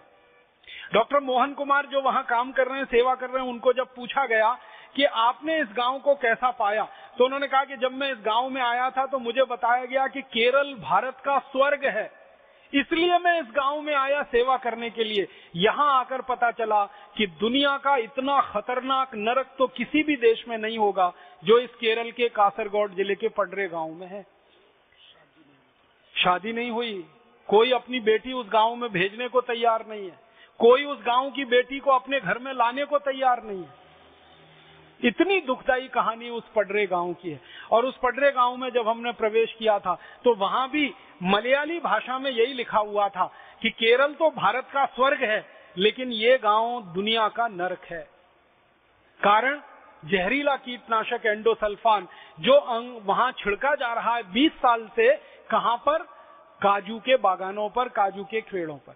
तो ये इस तरह के भारत में आप ढूँढने निकलेंगे तो सैकड़ों गाँव निकलेंगे।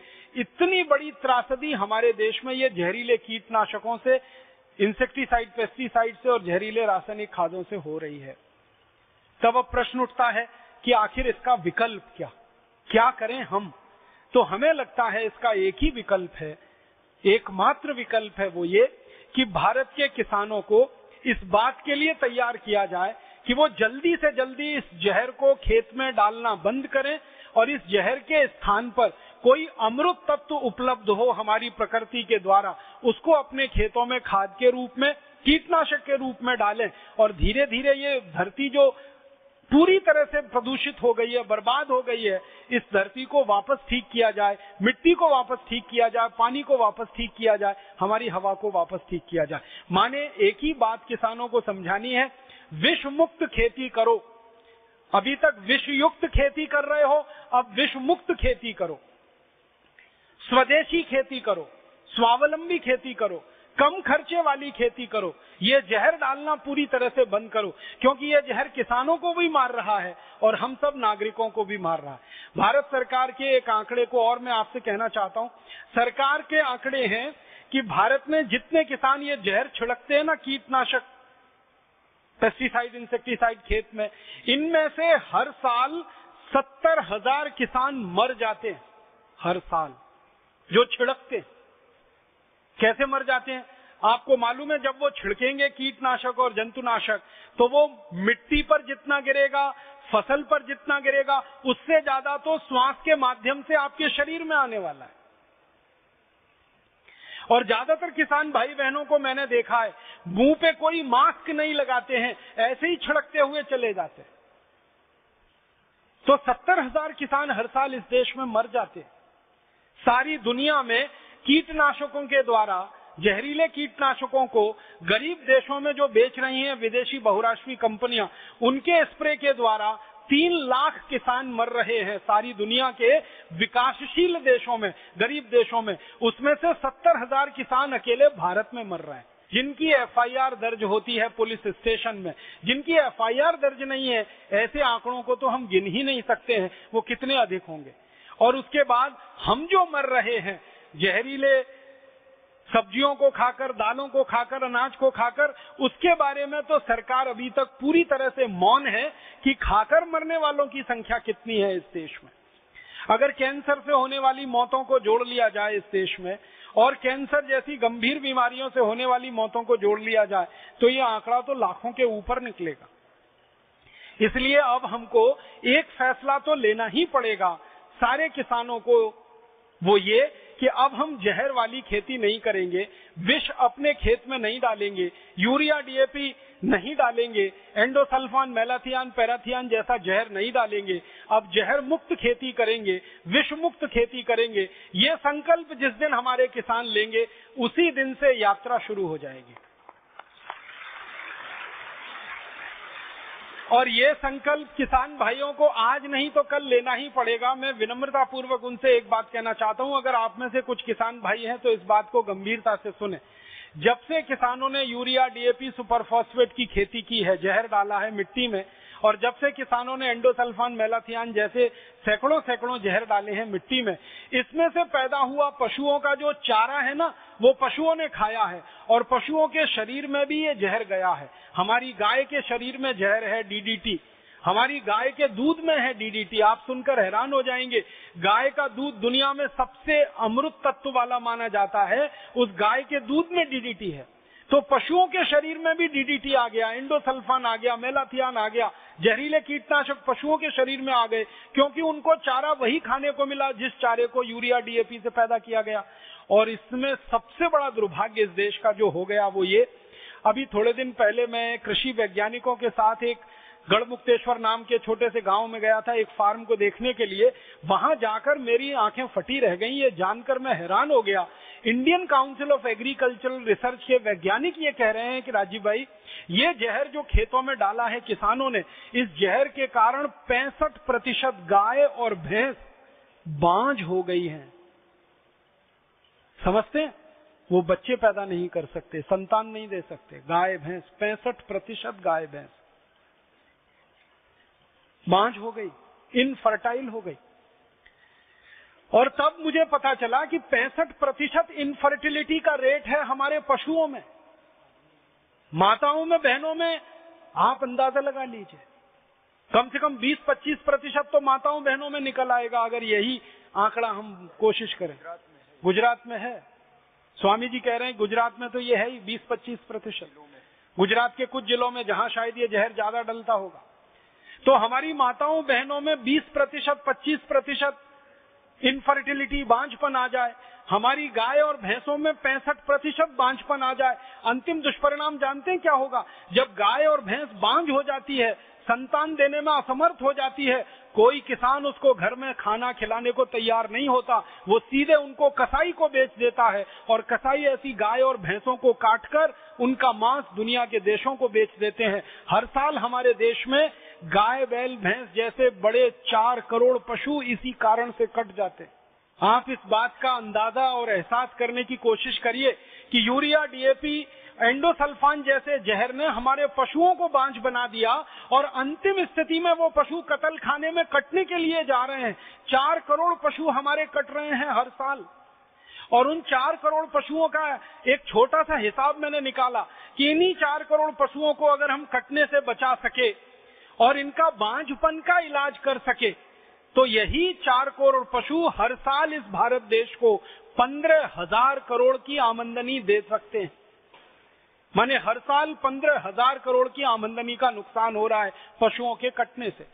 गाय और भैंस माँ नहीं बन पा रही हैं, बच्चों को नहीं दे पा रही हैं, किसान कसाई खाने में बेच रहे तब मुझे समझ में आया कि दिन, दूनी, रात, चौगुनी ये कसाई खानों की तरक्की कैसे बढ़ रही है।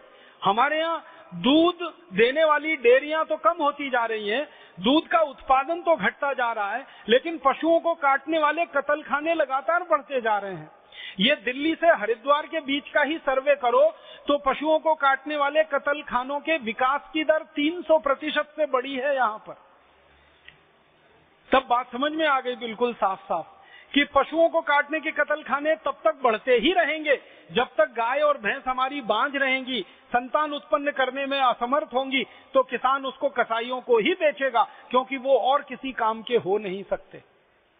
और कसाई उसको काटेंगे और उसका मांस भी बाज़ार में बिकने के लिए ही जाएगा।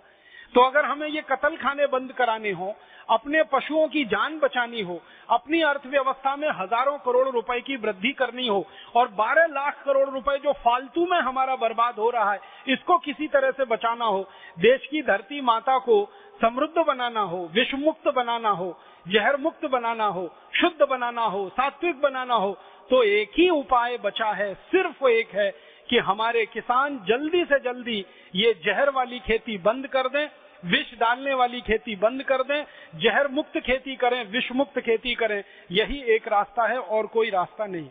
फिर किसान भाई पूछेंगे अच्छा ठीक है, आपकी बात मान लिया, हम जहर नहीं डालेंगे, यूरिया डीएपी नहीं डालेंगे, एंडोसल्फान, मेलाथियान नहीं डालेंगे, लेकिन इस बात की क्या गारंटी है कि हमारा उत्पादन अच्छा होगा? मैं आपको एक छोटी सी बात समझाना चाहता हूँ सरल भाषा में। अगर आप किसान हैं और खेती करते हो तो एक जानकारी देना चाहता हूँ कि हमारे खेत में जो कुछ भी पैदा होता है, पौधे का निर्माण जो खेत में होता है, बीज बीज में से पौधा, पौधे से फल तो फल ज़्यादा से ज़्यादा मिले तो पौधा अच्छे से अच्छा हो तो बीज अच्छे से अच्छा हो, और जिस मिट्टी में बीज डाला गया, वो मिट्टी अच्छे से अच्छी हो, ये सीधा एक चक्र है। तो मिट्टी अच्छी से अच्छी होनी चाहिए बीज अच्छे से अच्छा होना चाहिए, फल तो अच्छा मिलने ही वाला है। तो मिट्टी को अच्छा बनाना है तो एक ही रास्ता है, उसको जहर मुक्त करो। उसमें जो आपने पिछले 40 साल से यूरिया डीएपी के नाम पर, एंडोसल्फान के नाम पर जो डाला है, ये मिट्टी से बाहर निकालो। अब आप बोलोगे, जी, मिट्टी से जहर बाहर निकालें, इसके लिए कौन सी रासायनिक क्रिया, इसके लिए क्या करना पड़ेगा? इसके लिए भगवान ने, ईश्वर ने, प्रकृति ने हमको इतनी सुंदर वस्तु दी है, मिट्टी का जहर तीन साल में पूरा खत्म हो जाता है अगर लगातार उस मिट्टी में पशुओं का गोबर और मूत्र मिलाकर डाला जाए। जैसे गाय है, जैसे भैंस है, जैसे बैल है तो गाय, बैल, भैंस का गोबर, गाय, बैल, भैंस का मूत्र, पशुओं का गोबर, पशुओं का मूत्र, ये दोनों मिलाकर मिट्टी में लगातार डाला जाए अगर तो मिट्टी तीन साल में पूरी तरह से जहर मुक्त हो जाती है। आप बोलेंगे, वो कैसे? ये जो पशुओं का गोबर है, इसमें जहर को खींचने की सबसे ज़्यादा ताकत है। जैसे आपके शरीर में जहर चला जाए ना तो उस जहर की सफ़ाई करने की ताकत आपकी किडनी में है।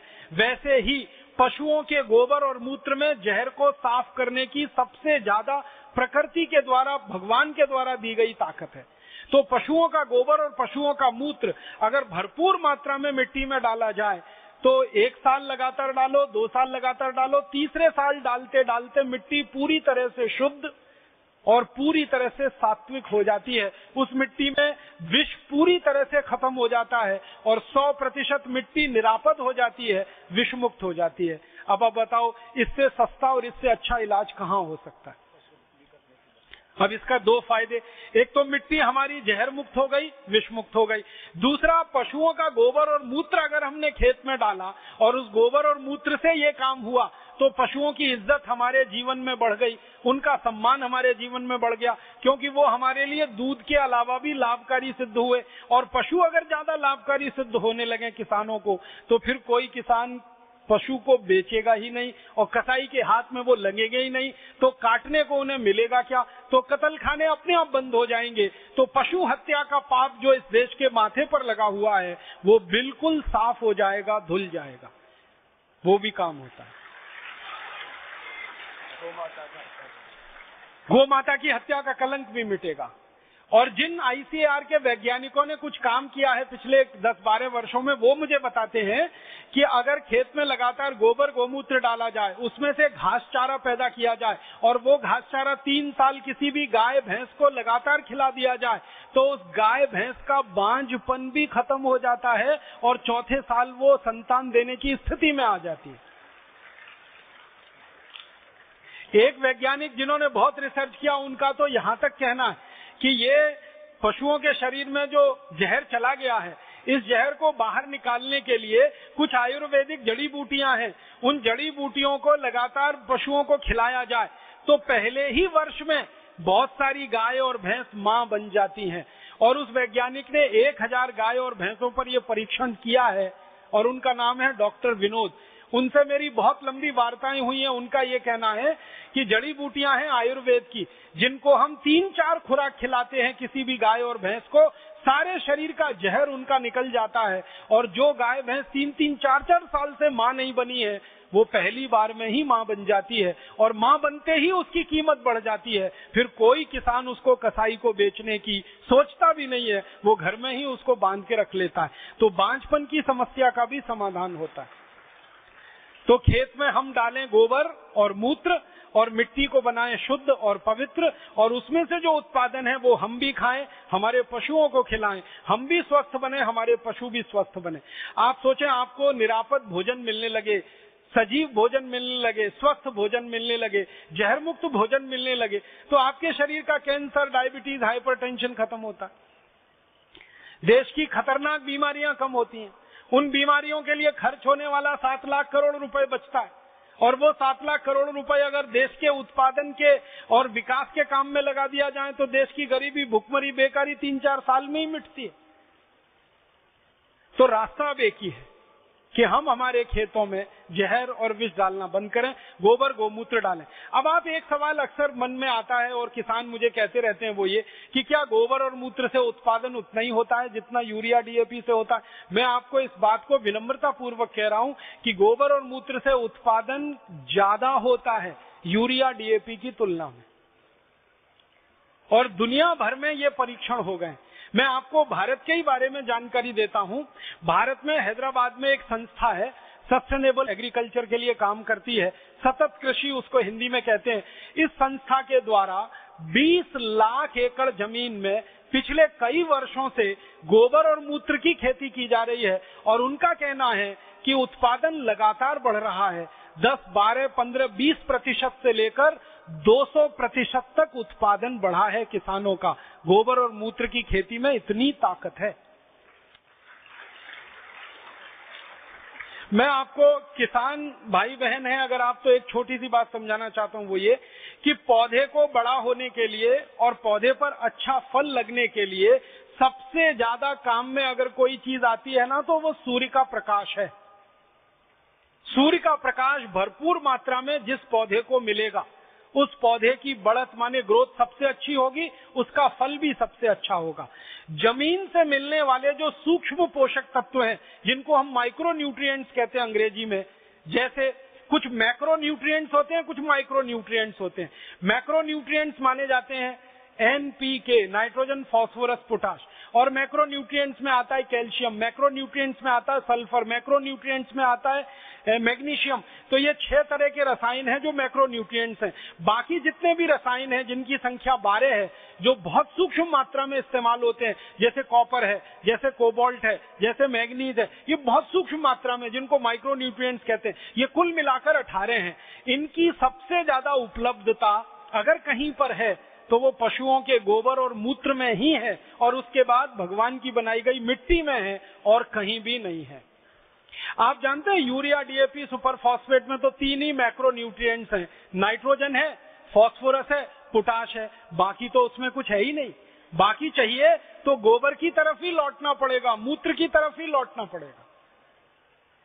कैल्शियम तो है नहीं यूरिया में, मैग्नीशियम तो है नहीं यूरिया में। मैग्नीज तो है नहीं यूरिया में, कोबाल्ट तो है नहीं यूरिया में, कॉपर तो है नहीं यूरिया में, और ये सब चाहिए मिट्टी को और पौधे को। तो यूरिया से तो मिलेगा नहीं डीएपी में भी नहीं मिलेगा, सुपर फॉस्फेट में भी नहीं मिलेगा, उसमें तो तीन ही केमिकल मिलने वाले हैं। और खेत की मिट्टी को चाहिए अट्ठारह तरह के केमिकल, वो तो मिलेंगे गोबर और मूत्र से ही, क्योंकि गोबर और मूत्र में ये भरपूर मात्रा में उपलब्ध है। तो आप गोबर और मूत्र की खेती करें तो भूमि को सूक्ष्म पोषक तत्व भरपूर मिलेंगे, जिससे भूमि की उर्वरक शक्ति बढ़ेगी। और भूमि की उर्वरक शक्ति बढ़ेगी तो उत्पादन की दर बढ़ेगी, आपको फ़सल अच्छी मिलेगी, उत्पादन ज़्यादा मिलेगा, बेहतर मिलेगा। और जो उत्पादन आपको मिलेगा, उसको बाज़ार में जब आप बेचेंगे तो उसका मूल्य भी भरपूर मिलेगा, कीमत भी भरपूर मिलेगी। आप मुंबई में कभी जाओ, जब आम का सीज़न आता है तो मुंबई के बाज़ार में मैंने खूब देखा है। यूरिया डीएपी का आम खरीदो हापुस अल्फेंजो तो आराम से मिल जाता है एक पेटी 200, 250, 300 रुपए का। और वही हापुस और अल्फेंजो खरीदो गोबर और मूत्र वाला तो एक पेटी मिलता है सात सौ रुपए का आठ सौ रुपए का नौ सौ रुपए का। इस बार मैंने एक हापुस आम की कीमत मुंबई के बाज़ार में पता की थी पैंसठ रुपए, क्योंकि उसका एक ही क्वालिटी था कि वो गोबर और मूत्र से पैदा किया हुआ है। और उसी के बराबर में पंद्रह रुपए का दूसरा वैसा ही हापुस आम था, लेकिन उसकी क्वालिटी थी कि वो जहर के द्वारा उत्पादित किया हुआ है। मतलब सीधा सा ये है कि अगर गोबर मूत्र से खेती आप करते हैं तो उसके उत्पादन को भी बाज़ार में चार पाँच गुनी कीमत आराम से मिलती है। भिंडी चालीस रुपए किलो बिकती है जो गोबर मूत्र से पैदा होती है। और जो यूरिया डीएपी वाली भिंडी है, उसको पंद्रह बीस रुपए में भी कोई नहीं पूछता है। टमाटर का भाव, बैंगन का भाव, आलू का भाव, सब ज़्यादा है जो गोबर मूत्र से पैदा। गोबर मूत्र से पैदा किया हुआ गेहूँ इक्कीस रुपए, पच्चीस रुपए, सत्ताईस रुपए, तीस रुपए किलो आराम से बिकता है। और यूरिया डीएपी का गेहूँ दस ग्यारह रुपए किलो में कोई खरीदने को तैयार नहीं होता। तो हर वस्तु जो हम पैदा करेंगे गोबर और मूत्र से, उसका भाव अच्छा है, उसका उत्पादन भी अच्छा मिलेगा क्वालिटी भी बढ़ेगी, ज़मीन सुधरेगी, फ़सल का उत्पादन सुधरेगा, आप खाएँगे तो आपका शरीर सुधरेगा, दूसरे खाएँगे तो उनका शरीर सुधरेगा। सब तरफ़ से देश के लिए अच्छा है। गोबर गोमूत्र की विष मुक्त खेती करना। तो मैं आपसे निवेदन करता हूँ सभी किसान भाइयों से कि जल्दी से जल्दी वो अपने खेत को विषमुक्त बनाए और गोबर गोमूत्र को खेत में लाए। अब आप ये पूछेंगे कि जरा मात्रा बता दो, गोबर कितना डालना, मूत्र कितना डालना, खेत में कब कब डालना किस फ़सल में कितना डालना, ये तकनीकी सवाल अक्सर हमारे सामने आ जाता है। तो मैं एक सरल सूत्र बताता हूँ, जिसको भारत में पिछले 12-15 वर्षों में हज़ारों किसानों ने अपनाया है और बहुत लाभ उनको हुआ है।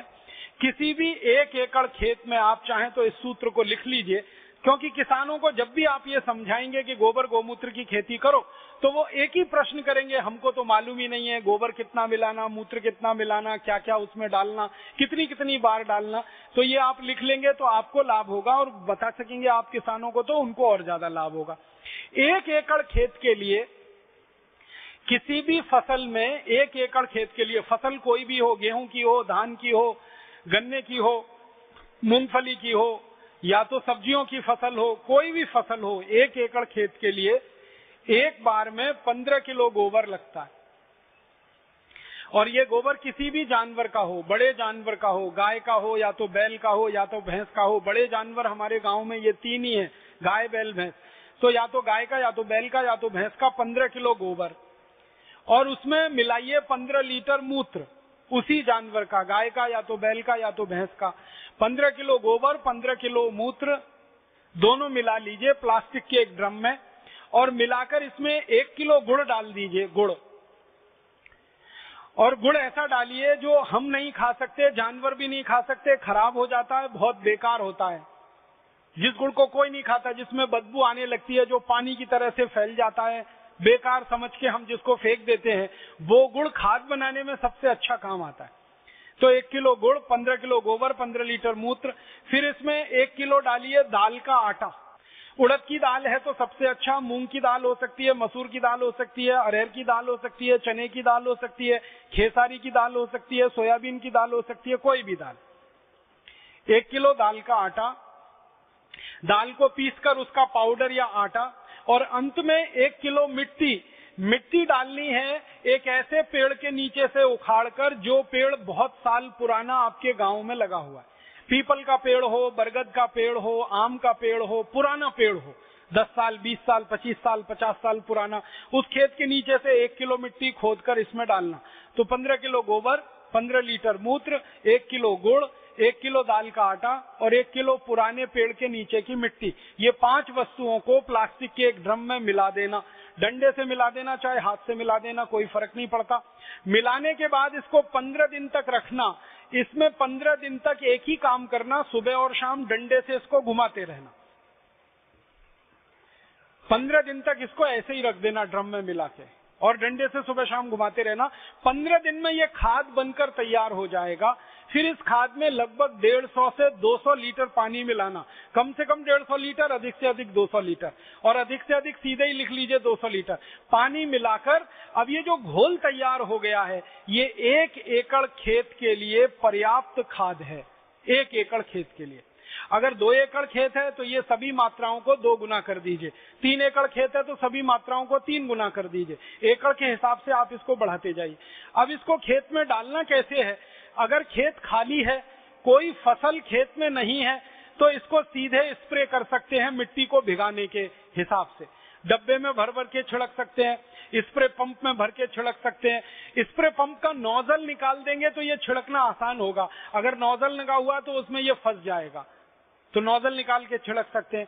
तो खाली खेत में मिट्टी पे छिड़कना है और फ़सल अगर खेत में खड़ी हुई है तो जब फ़सल में पानी लगाएँगे तो पानी के साथ इसको मिला देना है। मान लीजिए आपके खेत में फ़सल लगी है और पानी के लिए नाली आपने बना रखी है। उस नाली के मुहाने पर कोई बैठ जाएगा और डब्बे से इसको पानी में डालता जाएगा, पानी के साथ ये पूरे खेत में चला जाएगा। एक एकड़ खेत के लिए ये खाद पर्याप्त है। और इसको आप हर 21 दिन में दोबारा से डाल सकते हैं।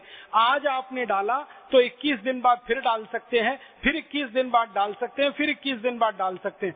मतलब इसका है कि तीन महीने की फ़सल है तो कम से कम चार से पाँच बार डाल दीजिए। चार महीने की फ़सल है तो पाँच से छह बार इसको डाल दीजिए। छह महीने की फ़सल है तो सात आठ बार डाल दीजिए। साल भर की फ़सल है, जैसे आप गन्ना लेते हैं, ऊस लेते हैं तो उसमें आप इसको कम से कम चौदह पंद्रह बार डाल दीजिए। इसको हर इक्कीस दिन में डालते जाना। तो ये खाद से आप किसी भी फ़सल को भरपूर उत्पादन ले सकते हैं। गेहूँ, धान, चना, चावल, दाल, गन्ना, मूंगफली, सब्ज़ियाँ, सब तरह की फ़सलों में ये डालकर देखा गया है। इसके बहुत अच्छे और बहुत अद्भुत परिणाम है। सबसे अच्छा परिणाम क्या आता है इसका? कि आपकी ज़िंदगी का जो खाद का खर्चा है साठ प्रतिशत, वो एक झटके में खत्म हो गया। फिर दूसरा खर्चा क्या खत्म होता है? जब आप ये गोबर मूत्र का खाद डालेंगे तो खेत में विष कम हो जाएगा तो जंतु नाशक डालना और कम हो जाएगा। कीटनाशक डालना और कम हो जाएगा। यूरिया, डीएपी का असर जैसे जैसे मिट्टी से कम होता जाएगा बाहर से आने वाले कीट और जंतु भी आपके खेत में कम होते जाएँगे। तो जंतुनाशक और कीटनाशक डालने का खर्च भी अपने आप धीरे धीरे कम होता जाएगा। और लगातार तीन चार साल आपने ये खाद बनाकर डाल दिया तो लगभग तय मानिए, आपके खेत में कोई भी जहरीला कीट और जंतु आएगा नहीं तो उसको मारने के लिए दवा डालने की ज़रूरत और गरज भी नहीं पड़ेगी। तो 20 प्रतिशत वो जो फालतू खर्चा था, वो भी बच जाएगा। माने खेती का 80 प्रतिशत खर्चा आपका बच जाएगा। दूसरी बात इस खाद के बारे में कि ये सभी फ़सल के लिए है। कोई भी फ़सल रवि की हो, खरीफ की हो, जायद की हो, हमारे यहाँ फ़सल चक्र में तीन मुख्य फ़सलें हैं, रवि, खरीफ, जायद।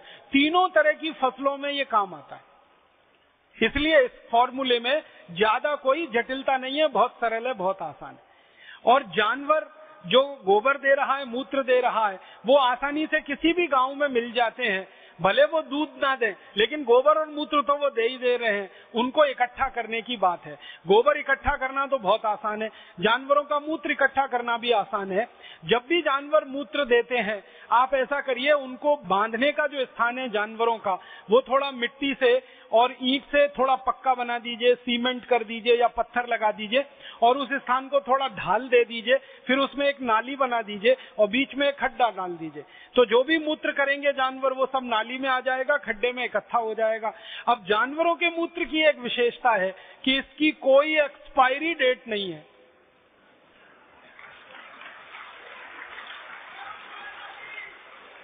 गाय के मूत्र की एक्सपायरी डेट नहीं, बैल के मूत्र की एक्सपायरी डेट नहीं, भैंस के मूत्र की एक्सपायरी डेट नहीं, तीन महीने, छह महीने, एक साल, दो साल, पाँच साल, दस साल, कितने भी दिन पड़ा रहे खड्डे में, वो खराब बिल्कुल नहीं होता। इसलिए आप बिल्कुल निर्द्वंद तरीके से इसका इस्तेमाल करिए। मन में कोई द्वंद मत लाइए कि ये पुराना हो गया कि ये नया हो गया।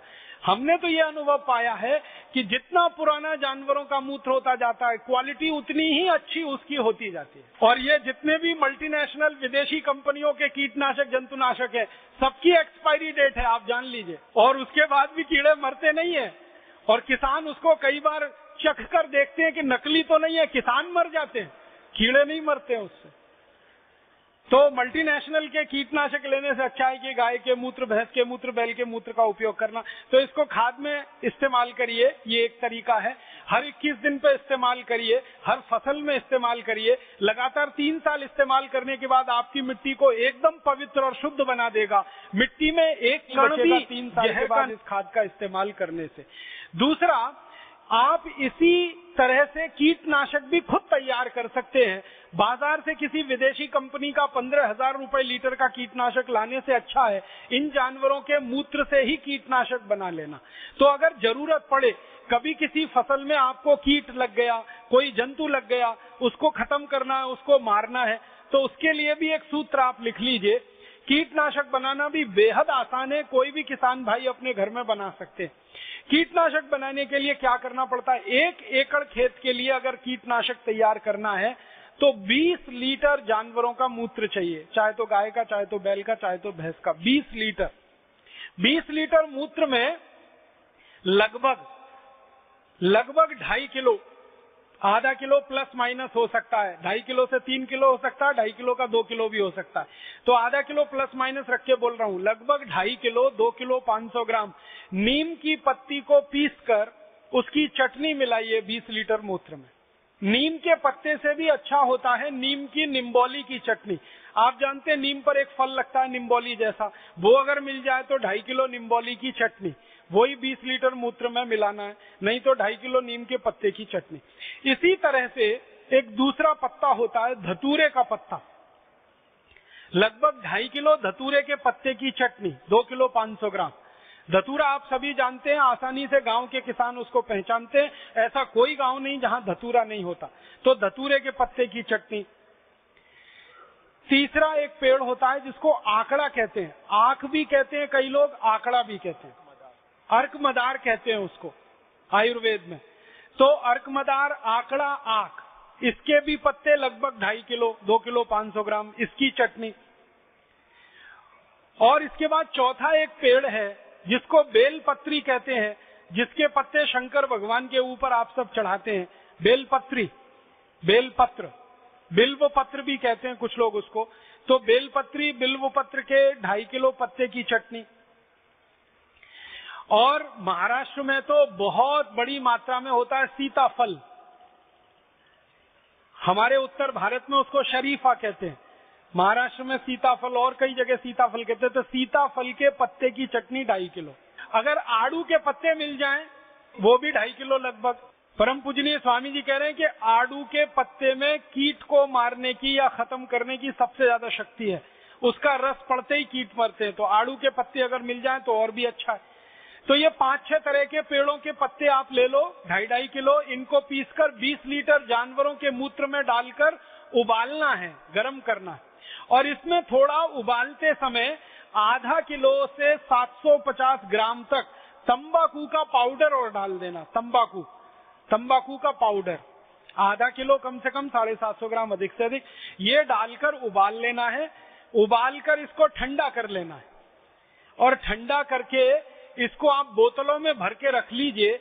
ये कभी भी खराब नहीं होता। ये कीटनाशक तैयार हो गया। अब इसको डालना कैसे, स्प्रे कैसे करना है? जितना कीटनाशक लेंगे, उसका 20 गुना पानी। अगर एक लीटर कीटनाशक लिया तो 20 लीटर पानी। 10 लीटर कीटनाशक लिया तो 200 लीटर पानी। जितना कीटनाशक आपका तैयार हो गया, उसको अंदाज़ा लगा लीजिए आप, जितनी उसकी मात्रा तैयार हो गई, उसका 20 गुना पानी उसमें मिला दीजिए। मिलाकर इसको आप खेत में छिड़क सकते हैं किसी भी फ़सल पर। और इसको छिड़कने का परिणाम ये है कि दो से तीन दिन के अंदर, लगभग 48 से बहत्तर घंटे के अंदर, जिस फ़सल पर आपने स्प्रे किया, उस पर कीट और जंतु आपको दिखाई नहीं देंगे। कीड़े और जंतु सब पूरी तरह से दो तीन दिन में ही खत्म हो जाते हैं, समाप्त हो जाते हैं। इतना प्रभावशाली ये कीटनाशक बन के तैयार होता है। ये बड़ी बड़ी विदेशी कंपनियों के कीटनाशक से सैकड़ों गुना ज़्यादा ताकतवर है और एकदम फोकट का है। बनाने में कोई खर्चा नहीं है। जानवरों का मूत्र मुफ़्त में मिल जाता है। आपको नीम के पत्ते मुफ़्त में मिल जाएँगे, निम्बोली मुफ़्त में मिल जाएगी। आंकड़ा के पत्ते मुफ़्त में मिल जाएँगे, आड़ू के पत्ते, सब तरह के पत्ते मुफ़्त में हर गाँव में उपलब्ध हैं। तो ये आप कीटनाशक के रूप में, जंतुनाशक के रूप में इसको इस्तेमाल करिए। और तीसरी एक जानकारी और देना चाहता हूँ, अच्छी उत्पादन और फ़सल लेने के लिए जो बीज आप खेत में डालते हैं, उस बीज को पहले संस्कारित करिए, फिर मिट्टी में डालिए।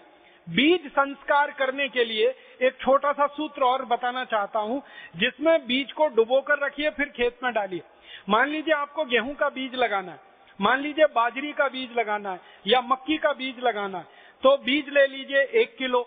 एक किलो बीज के अनुसार ये सूत्र मैं बता रहा हूँ, अगर दो किलो हो तो सब चीज़ों को दुगना कर लीजिएगा। एक किलो जानवरों का गोबर ले लीजिए, किसी भी जानवर का हो, गाय का, बैल का, भैंस का, एक किलो गोबर ले लीजिए और उसी जानवर का एक किलो मूत्र ले लीजिए। गोबर और मूत्र को आपस में मिला दीजिए, फिर इसमें 100 ग्राम कलई चूना मिलाना है। कलई चूना आप समझते हैं, जिससे पुताई करते चूने का पत्थर बाज़ार में आता है 100 ग्राम का पत्थर खरीदेंगे 10-15 पैसे में मिल जाएगा। उस चूने के पत्थर को एक दिन पहले पानी में डाल दीजिए दो तीन लीटर पानी में। रात भर में वो पानी एकदम गर्म हो जाएगा, फिर ठंडा होके चूना शांत होके नीचे बैठ जाएगा, पानी ऊपर आ जाएगा। फिर इसको घोल लीजिए, चूना और पानी को, और इसको एक किलो गोबर, एक लीटर मूत्र वाले पात्र में डाल दीजिए। तो गोबर, मूत्र और सौ ग्राम कलई चूने में जितना पानी तैयार हुआ, वो सब मिला दीजिए और अच्छे से घोल कर इसमें बीज को डाल दीजिए। गेहूँ का बीज हो, या तो मक्की का हो, या तो सब्जियों का कोई भी बीज को डाल दीजिए, एक किलो बीज इसमें आराम से भीग जाता है। वैसे अगर आप थोड़ा पानी डाल देंगे तो दो किलो तक बीज भीग जाए। बीज को इसमें दो तीन घंटे से लेकर छह सात घंटे तक डाल के रखिए। रात में डाल दीजिए सुबह हो गई तो बीज को निकाल लीजिए। निकालकर इस बीज को छाव में सुखा दीजिए। और छाव में सुखाने के बाद ये बीज को आप खेत की मिट्टी में लगा दीजिए।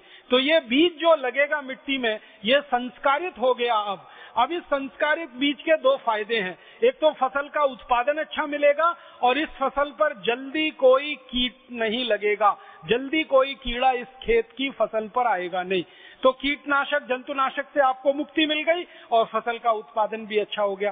तो बीज संस्कार करने का एक सूत्र है। कीटनाशक बनाने का एक सूत्र है और खाद बनाने का एक सूत्र है। इन तीन सूत्रों का भरपूर प्रयोग आप अपने खेत में करिए और अपने किसान मित्रों को, किसान भाइयों को ज़्यादा से ज़्यादा इसको बताइए।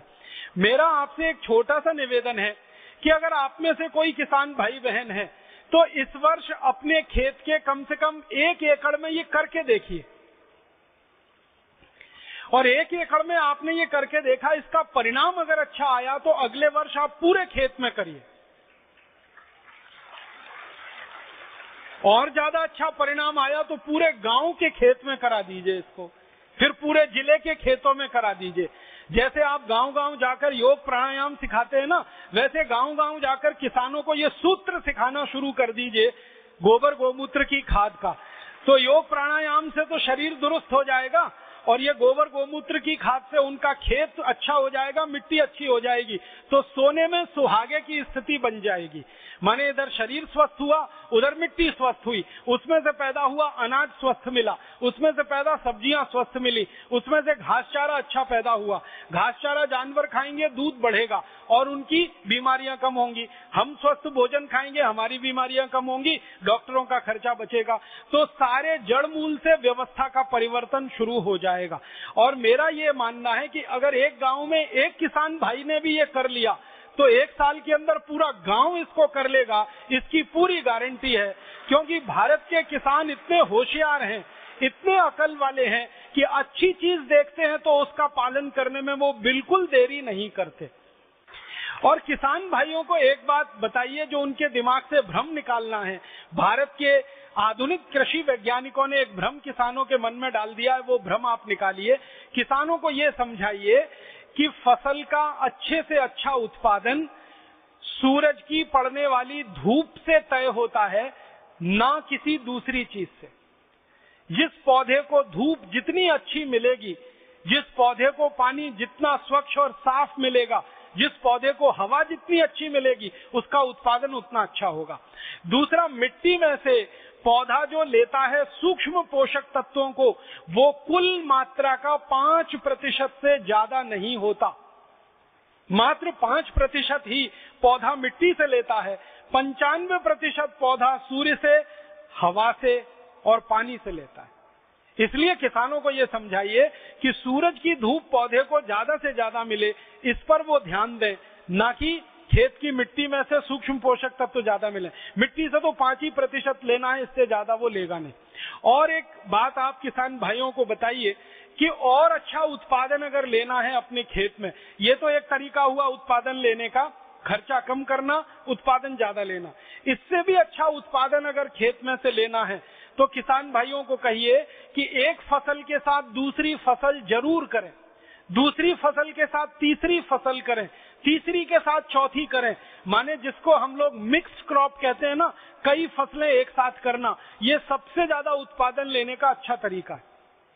जैसे मैं आपको महाराष्ट्र के हिसाब से बताना चाहता हूँ, कपास महाराष्ट्र में बहुत होता है। तो किसानों को कहिए कि कपास के साथ तुअर की खेती ज़रूर करें, दोनों का उत्पादन बढ़ता है। तुअर का भी उत्पादन बढ़ेगा, कपास का भी बढ़ेगा। कारण क्या है? कपास मिट्टी में से जिस सूक्ष्म पोषक तत्व को ज़्यादा लेता है, तुअर उसी सूक्ष्म पोषक तत्व को मिट्टी को ज़्यादा देती है।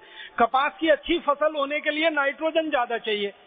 और तुअर का जो जड़ होता है, वो सबसे ज़्यादा नाइट्रोजन फिक्स करता है मिट्टी में। तो तुअर को कपास के साथ लेना शुरू करें, दोनों का उत्पादन बढ़ेगा।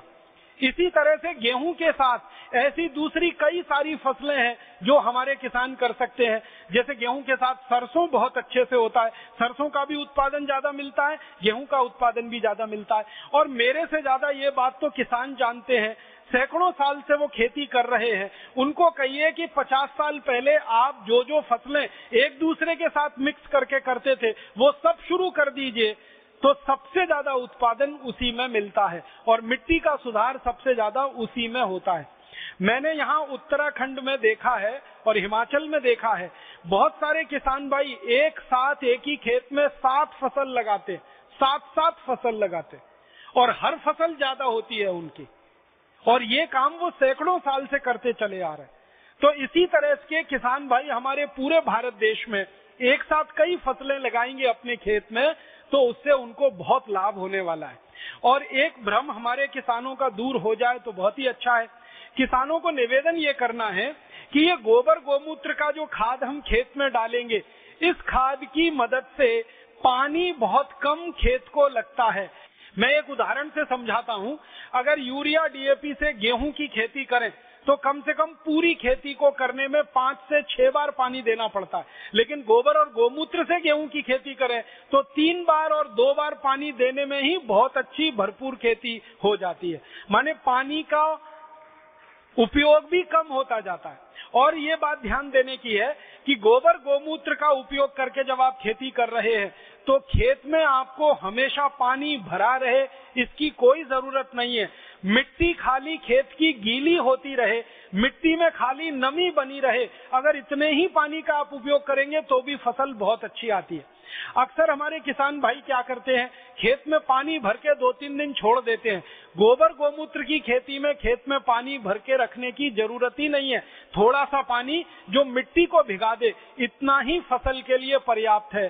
तो हमने देखा है कि गोबर गोमूत्र की खेती करने में 80 प्रतिशत खर्चा तो खाद और कीटनाशक का बच गया। करीब करीब 50 से 60 प्रतिशत खर्चा पानी का बच गया। और इस गोबर गोमूत्र की खेती में बहुत कम मात्रा में खरपतवार होती है तो खरपतवार निकालने का खर्चा भी बच गया। माने किसान की ज़िंदगी का लगभग 90 प्रतिशत खर्चा बचता है। 10 प्रतिशत खर्चे में ही खेती हो जाती है। और मैं आपको गणित से ये बताना चाहता हूँ कि कोई भी किसान भाई गोबर गोमूत्र की खेती अगर करेंगे अपने खेत में तो सौ रुपए आप लागत में लगाएँगे तो हज़ार रुपए का उत्पादन आपको मिल जाएगा। दस रुपए लागत में आप लगाएँगे सौ रुपए का उत्पादन आपको मिल जाएगा। दस हज़ार रुपए अगर आपने लागत के रूप में लगा दिए, एक लाख रुपए का उत्पादन बड़े आराम से मिल जाएगा। अगर मुनाफे का प्रतिशत निकालेंगे तो गोबर गोमूत्र की जो विष मुक्त खेती है जहर मुक्त खेती है, इसमें 900 प्रतिशत मुनाफा बहुत आराम से होता है, जो दुनिया के किसी भी दूसरे धंधे में ईमानदारी से नहीं हो सकता। आप कोई भी व्यापार करें किसी भी व्यापार में ईमानदारी से 900 प्रतिशत मुनाफा आप नहीं कमा सकते। बेईमानी से तो हज़ारों प्रतिशत कमा सकते हैं। खेती और खेती मात्र एक ऐसा व्यवसाय है जिसमें गोबर गोमूत्र का उपयोग करके, जानवरों के मूत्र का उपयोग करके, जानवरों के मल का उपयोग करके आप 900 प्रतिशत मुनाफा कमा सकते हैं। और ये मुनाफा पूरे देश में टैक्स फ्री है। इस पर कोई इनकम टैक्स नहीं है तो सरकार का झगड़ा और झंझट भी नहीं है। मैं तो आप सब लोगों को एक विनती ये करूँगा कि अगर आपके घर में थोड़ा भी पैसा है, अतिरिक्त रूप से थोड़ा भी पैसा अतिरिक्त रूप से है। भले आपने गहने खरीद के रखे हो, भले किसी कंपनी के शेयर खरीद के रखे हों, भले आपने बॉन्ड्स में पैसा लगा रखा हो, वो सब निकाल लीजिए। जितना जल्दी हो खेत खरीद लीजिए, एक एकड़ ले लीजिए, दो एकड़ ले लीजिए, पाँच एकड़ ले लीजिए। और गोबर गोमूत्र की खेती पर आ जाइए। भविष्य आपका ही है। क्योंकि आने वाले समय में हज़ारों आरोग्य केंद्र खुलेंगे, वहाँ गोबर, गोमूत्र का गेहूँ, चावल, चना, दाल, सब्ज़ियाँ उपलब्ध होंगी। तो ये केंद्र तो खुल जाएँगे बहुत जल्दी, लेकिन पैदा करने वाले कहाँ से आएँगे? वो आप में से ही तैयार होंगे, तभी उनकी पूर्ति हो पाएगी। तो आप उत्पादन करना शुरू कर दीजिए। परम पूजनीय स्वामी जी के आशीर्वाद से ये केंद्र जो चलेंगे, वो बिक्री करना शुरू कर देंगे। उत्पादन आप करें, बिक्री पतंजलि योगपीठ या भारत स्वाभिमान की तरफ़ से हो तो उत्पादक और विक्रेता दोनों एक दूसरे के बंधन में ऐसे बंधे कि दुनिया की कोई ताकत हमें न तोड़ सके। और हम जो विश्व विजय के अभियान पर निकले हैं, अपने अभियान को पूरी तरह से सफल कर पाए। मैं एक आखिरी बात कहना चाहता हूँ वो ये कि भारत में आज़ादी की लड़ाई जब हुई तो इस आज़ादी की लड़ाई में आपको शायद ये जानकारी है कि सबसे ज़्यादा किसानों ने भाग लिया था। अठारह सौ सत्तावन की क्रांति रही हो 1905 का स्वदेशी आंदोलन रहा हो 1942 का भारत छोड़ो आंदोलन रहा हो, या 1930 का नमक सत्याग्रह रहा हो, जितने भी आंदोलन भारत में हुए, सब में किसानों ने आगेवानी की, माने वो अगुवाई में थे, माने वो लीडरशिप में थे। और सभी आंदोलनों को सबसे ज़्यादा आर्थिक मदद किसानों की तरफ़ से हुई। दूसरे नंबर पर व्यापारियों ने मदद की, उद्योगपतियों ने मदद की। तो किसानों ने, कारीगरों ने और व्यापारियों ने मदद की तो सारे देश में सैकड़ों करोड़ रुपए खर्च करके आंदोलन हुआ। आज़ादी के आंदोलन के बारे में एक अनुमान है कि 480 करोड़ रुपए खर्च हुआ था उस समय अठारह सौ सत्तावन की लड़ाई में। इसमें से अधिकांश पैसा किसानों ने दिया था। फिर कारीगरों ने और व्यापारियों ने दिया था। तो किसानों ने पैसा दिया कैसे? उनके पास पैसा था, इसलिए उन्होंने दिया। किसानों के पास पैसा कहाँ से आया? उस समय खेती में उत्पादन बहुत अच्छा था। अंग्रेज़ों के आंकड़े बताते हैं कि सन 1840 तक इस देश में एक एकड़ खेत में छप्पन क्विंटल धान पैदा होता था। पश्चिम महाराष्ट्र के दस्तावेज़ हैं कोल्हापुर सांगली सतारा के आसपास के इलाके में 1840 में एक एकड़ में 120 मीट्रिक टन ऊस उत्पन्न होता था। पश्चिम महाराष्ट्र के आंकड़े हैं, पुराने दस्तावेज़ बताते हैं, अभिलेखागार में आर्काइव्स में है, वो बताते हैं कि एक एकड़ में 12 से 15 क्विंटल कपास आराम से उत्पन्न होती थी। अब छप्पन क्विंटल धान 120 मीट्रिक टन गन्ने का उत्पादन, ऊस का उत्पादन 12 से 15 कुंटल कपास भरपूर उत्पादन होता था किसानों के खेत में। और उस उत्पादन का कारण ही ये था कि किसान सबसे ज़्यादा गोबर और मूत्र से खेती करते थे, जानवरों के मूत्र और गोबर का इस्तेमाल करते थे। तो गोबर गोमूत्र की खेती करके उस जमाने के किसान सबसे ज़्यादा श्रीमंत थे। इसलिए हमारे देश में ये कहा जाता था, उत्तम खेती, मध्यम बान, करे चाकरी, कुकर निदान। उत्पादन भरपूर था आमंदनी भरपूर थी और जिनके पास आमंदनी बहुत होती है, वही दान कर सकते हैं। भिकारी क्या दान करेगा? उसके पास तो खुद ही नहीं होता खाने को। तो आज़ादी की लड़ाई के लिए सबसे ज़्यादा दान किसानों ने दिया। ये बात अंग्रेज़ों को समझ में आई थी और इसलिए किसानों को खत्म कर देने के लिए उन्होंने साजिश रचाई थी, जिसमें लैंड एक्विजिशन एक्ट लाया, फिर ये एग्रीकल्चरल प्राइस कमीशन एक्ट लाया। तो अंग्रेज़ों ने साजिश के साथ किसानों को तोड़ा और बर्बाद किया। अब ये साजिश हमारे समझ में आ गई है। अब इस साजिश को खत्म करना है। इस साजिश को बेकार करना है। इस साजिश को पूरी तरह से प्रभावहीन करना है। तो उसका एक ही तरीका है कि किसानों को वापस उस खेती पर लाया जाए, जिस खेती को करके वो हज़ारों साल दुनिया में सबसे ज़्यादा समृद्धशाली थे। और वो खेती यही है गोबर गोमूत्र की खेती विष मुक्त खेती जहर मुक्त खेती। तो किसान भाइयों को तो इस तरफ़ आना ही पड़ेगा। आप उत्पादन करें, बाज़ार में उसको बेचने के लिए तंत्र तैयार हो रहा है। आपका उत्पादन और हमारा बिक्री का तंत्र, ये दोनों मिलेगा। तो पूरे देश में ऐसी ज़बरदस्त क्रांति आएगी कि सारे किसान तो आर्थिक रूप से स्वावलंबी हो जाएँगे, स्वयंपूर्ण हो जाएँगे, समृद्धशाली हो जाएँगे। और जो खाने वाले हैं क्रेता, जो खरीदने वाले ग्राहक हैं, वो शुद्ध अनाज खाकर स्वस्थ हो जाएँगे। उनकी ताकत बढ़ेगी और वो ताकत बढ़ाकर देश की व्यवस्था परिवर्तन के काम में और ज़्यादा अपना अभिक्रम दिखा पाएँगे, अपना पुरुषार्थ सिद्ध कर पाएँगे। तो सबके भले में सबका भला। ऐसी स्थिति है ये विश्व मुक्त खेती और समृद्ध किसान की जो बात आपके सामने रखी है, इस बात में हम सब पहले अपने जीवन में थोड़ा आचरण में उतारे, खेत में एक एक एकड़ में करके देखें, जिनके पास भी खेत है, फिर अपने पड़ोसी किसानों को एक एक दो दो एकड़ में कराएँ, फ़ायदा मिले तो अगले साल पूरे खेत में गाँव गाँव में हो, और थोड़े दिन के बाद जिन जिन गाँवों में योग प्राणायाम की कक्षाएँ लगती हैं, हर उस गाँव के सामने एक बोर्ड लग जाए जैसे हरिकिशनपुरा का बोर्ड मुझे याद आता है कि ये पूरा गाँव बिकाऊ है, क्योंकि हर गाँव के परिवार पर छह लाख रुपए का कर्ज है, क्योंकि जहर खेत में डाला है, उसके लिए कर्ज हुआ है। तो इसका उल्टा बोर्ड लगे कि ये गाँव अब समृद्धशाली है, संपत्तिवान है, इस गाँव के किसी किसान पर कोई कर्ज नहीं है। यहाँ का किसान पहले रोडपति था, अब करोड़पति है। पहले कर्ज लेता था बैंक से, अब कर्ज देता है बैंक को। इसकी खेती में इतना उपजाऊपन बढ़ गया है कि सारे देश का पेट भरने की ताकत अब इस किसान में आई है। इस तरह के बोर्ड जगह जगह जगह जगह गाँव में लग जाए। विष मुक्त खेती वाला गाँव जहर मुक्त खेती वाला गाँव, एक नाम, दो नाम, बीस नाम, पचास नाम, हज़ार नाम। तो ये इतनी बड़ी खबर होगी कि दुनिया भर का मीडिया आएगा उस गाँव के बारे में फ़िल्में बनाएगा। सारी दुनिया में उसकी चर्चा होगी। और दुनिया भर के लोग, आप अगर चाहेंगे तो आपके सामने झोली फैलाकर खड़े होंगे कि भाई एक किलो गेहूँ दे दो ना, गोबर गोमूत्र वाला। एक किलो गन्ना दे दो ना, गोबर गोमूत्र वाला। क्योंकि उनके पास नहीं है, क्योंकि वो मांग रहे हैं। हज़ारों अरब डॉलर का दुनिया में बाज़ार है। ऑर्गेनिक फ़ूड प्रोडक्ट्स का आप जानते हैं।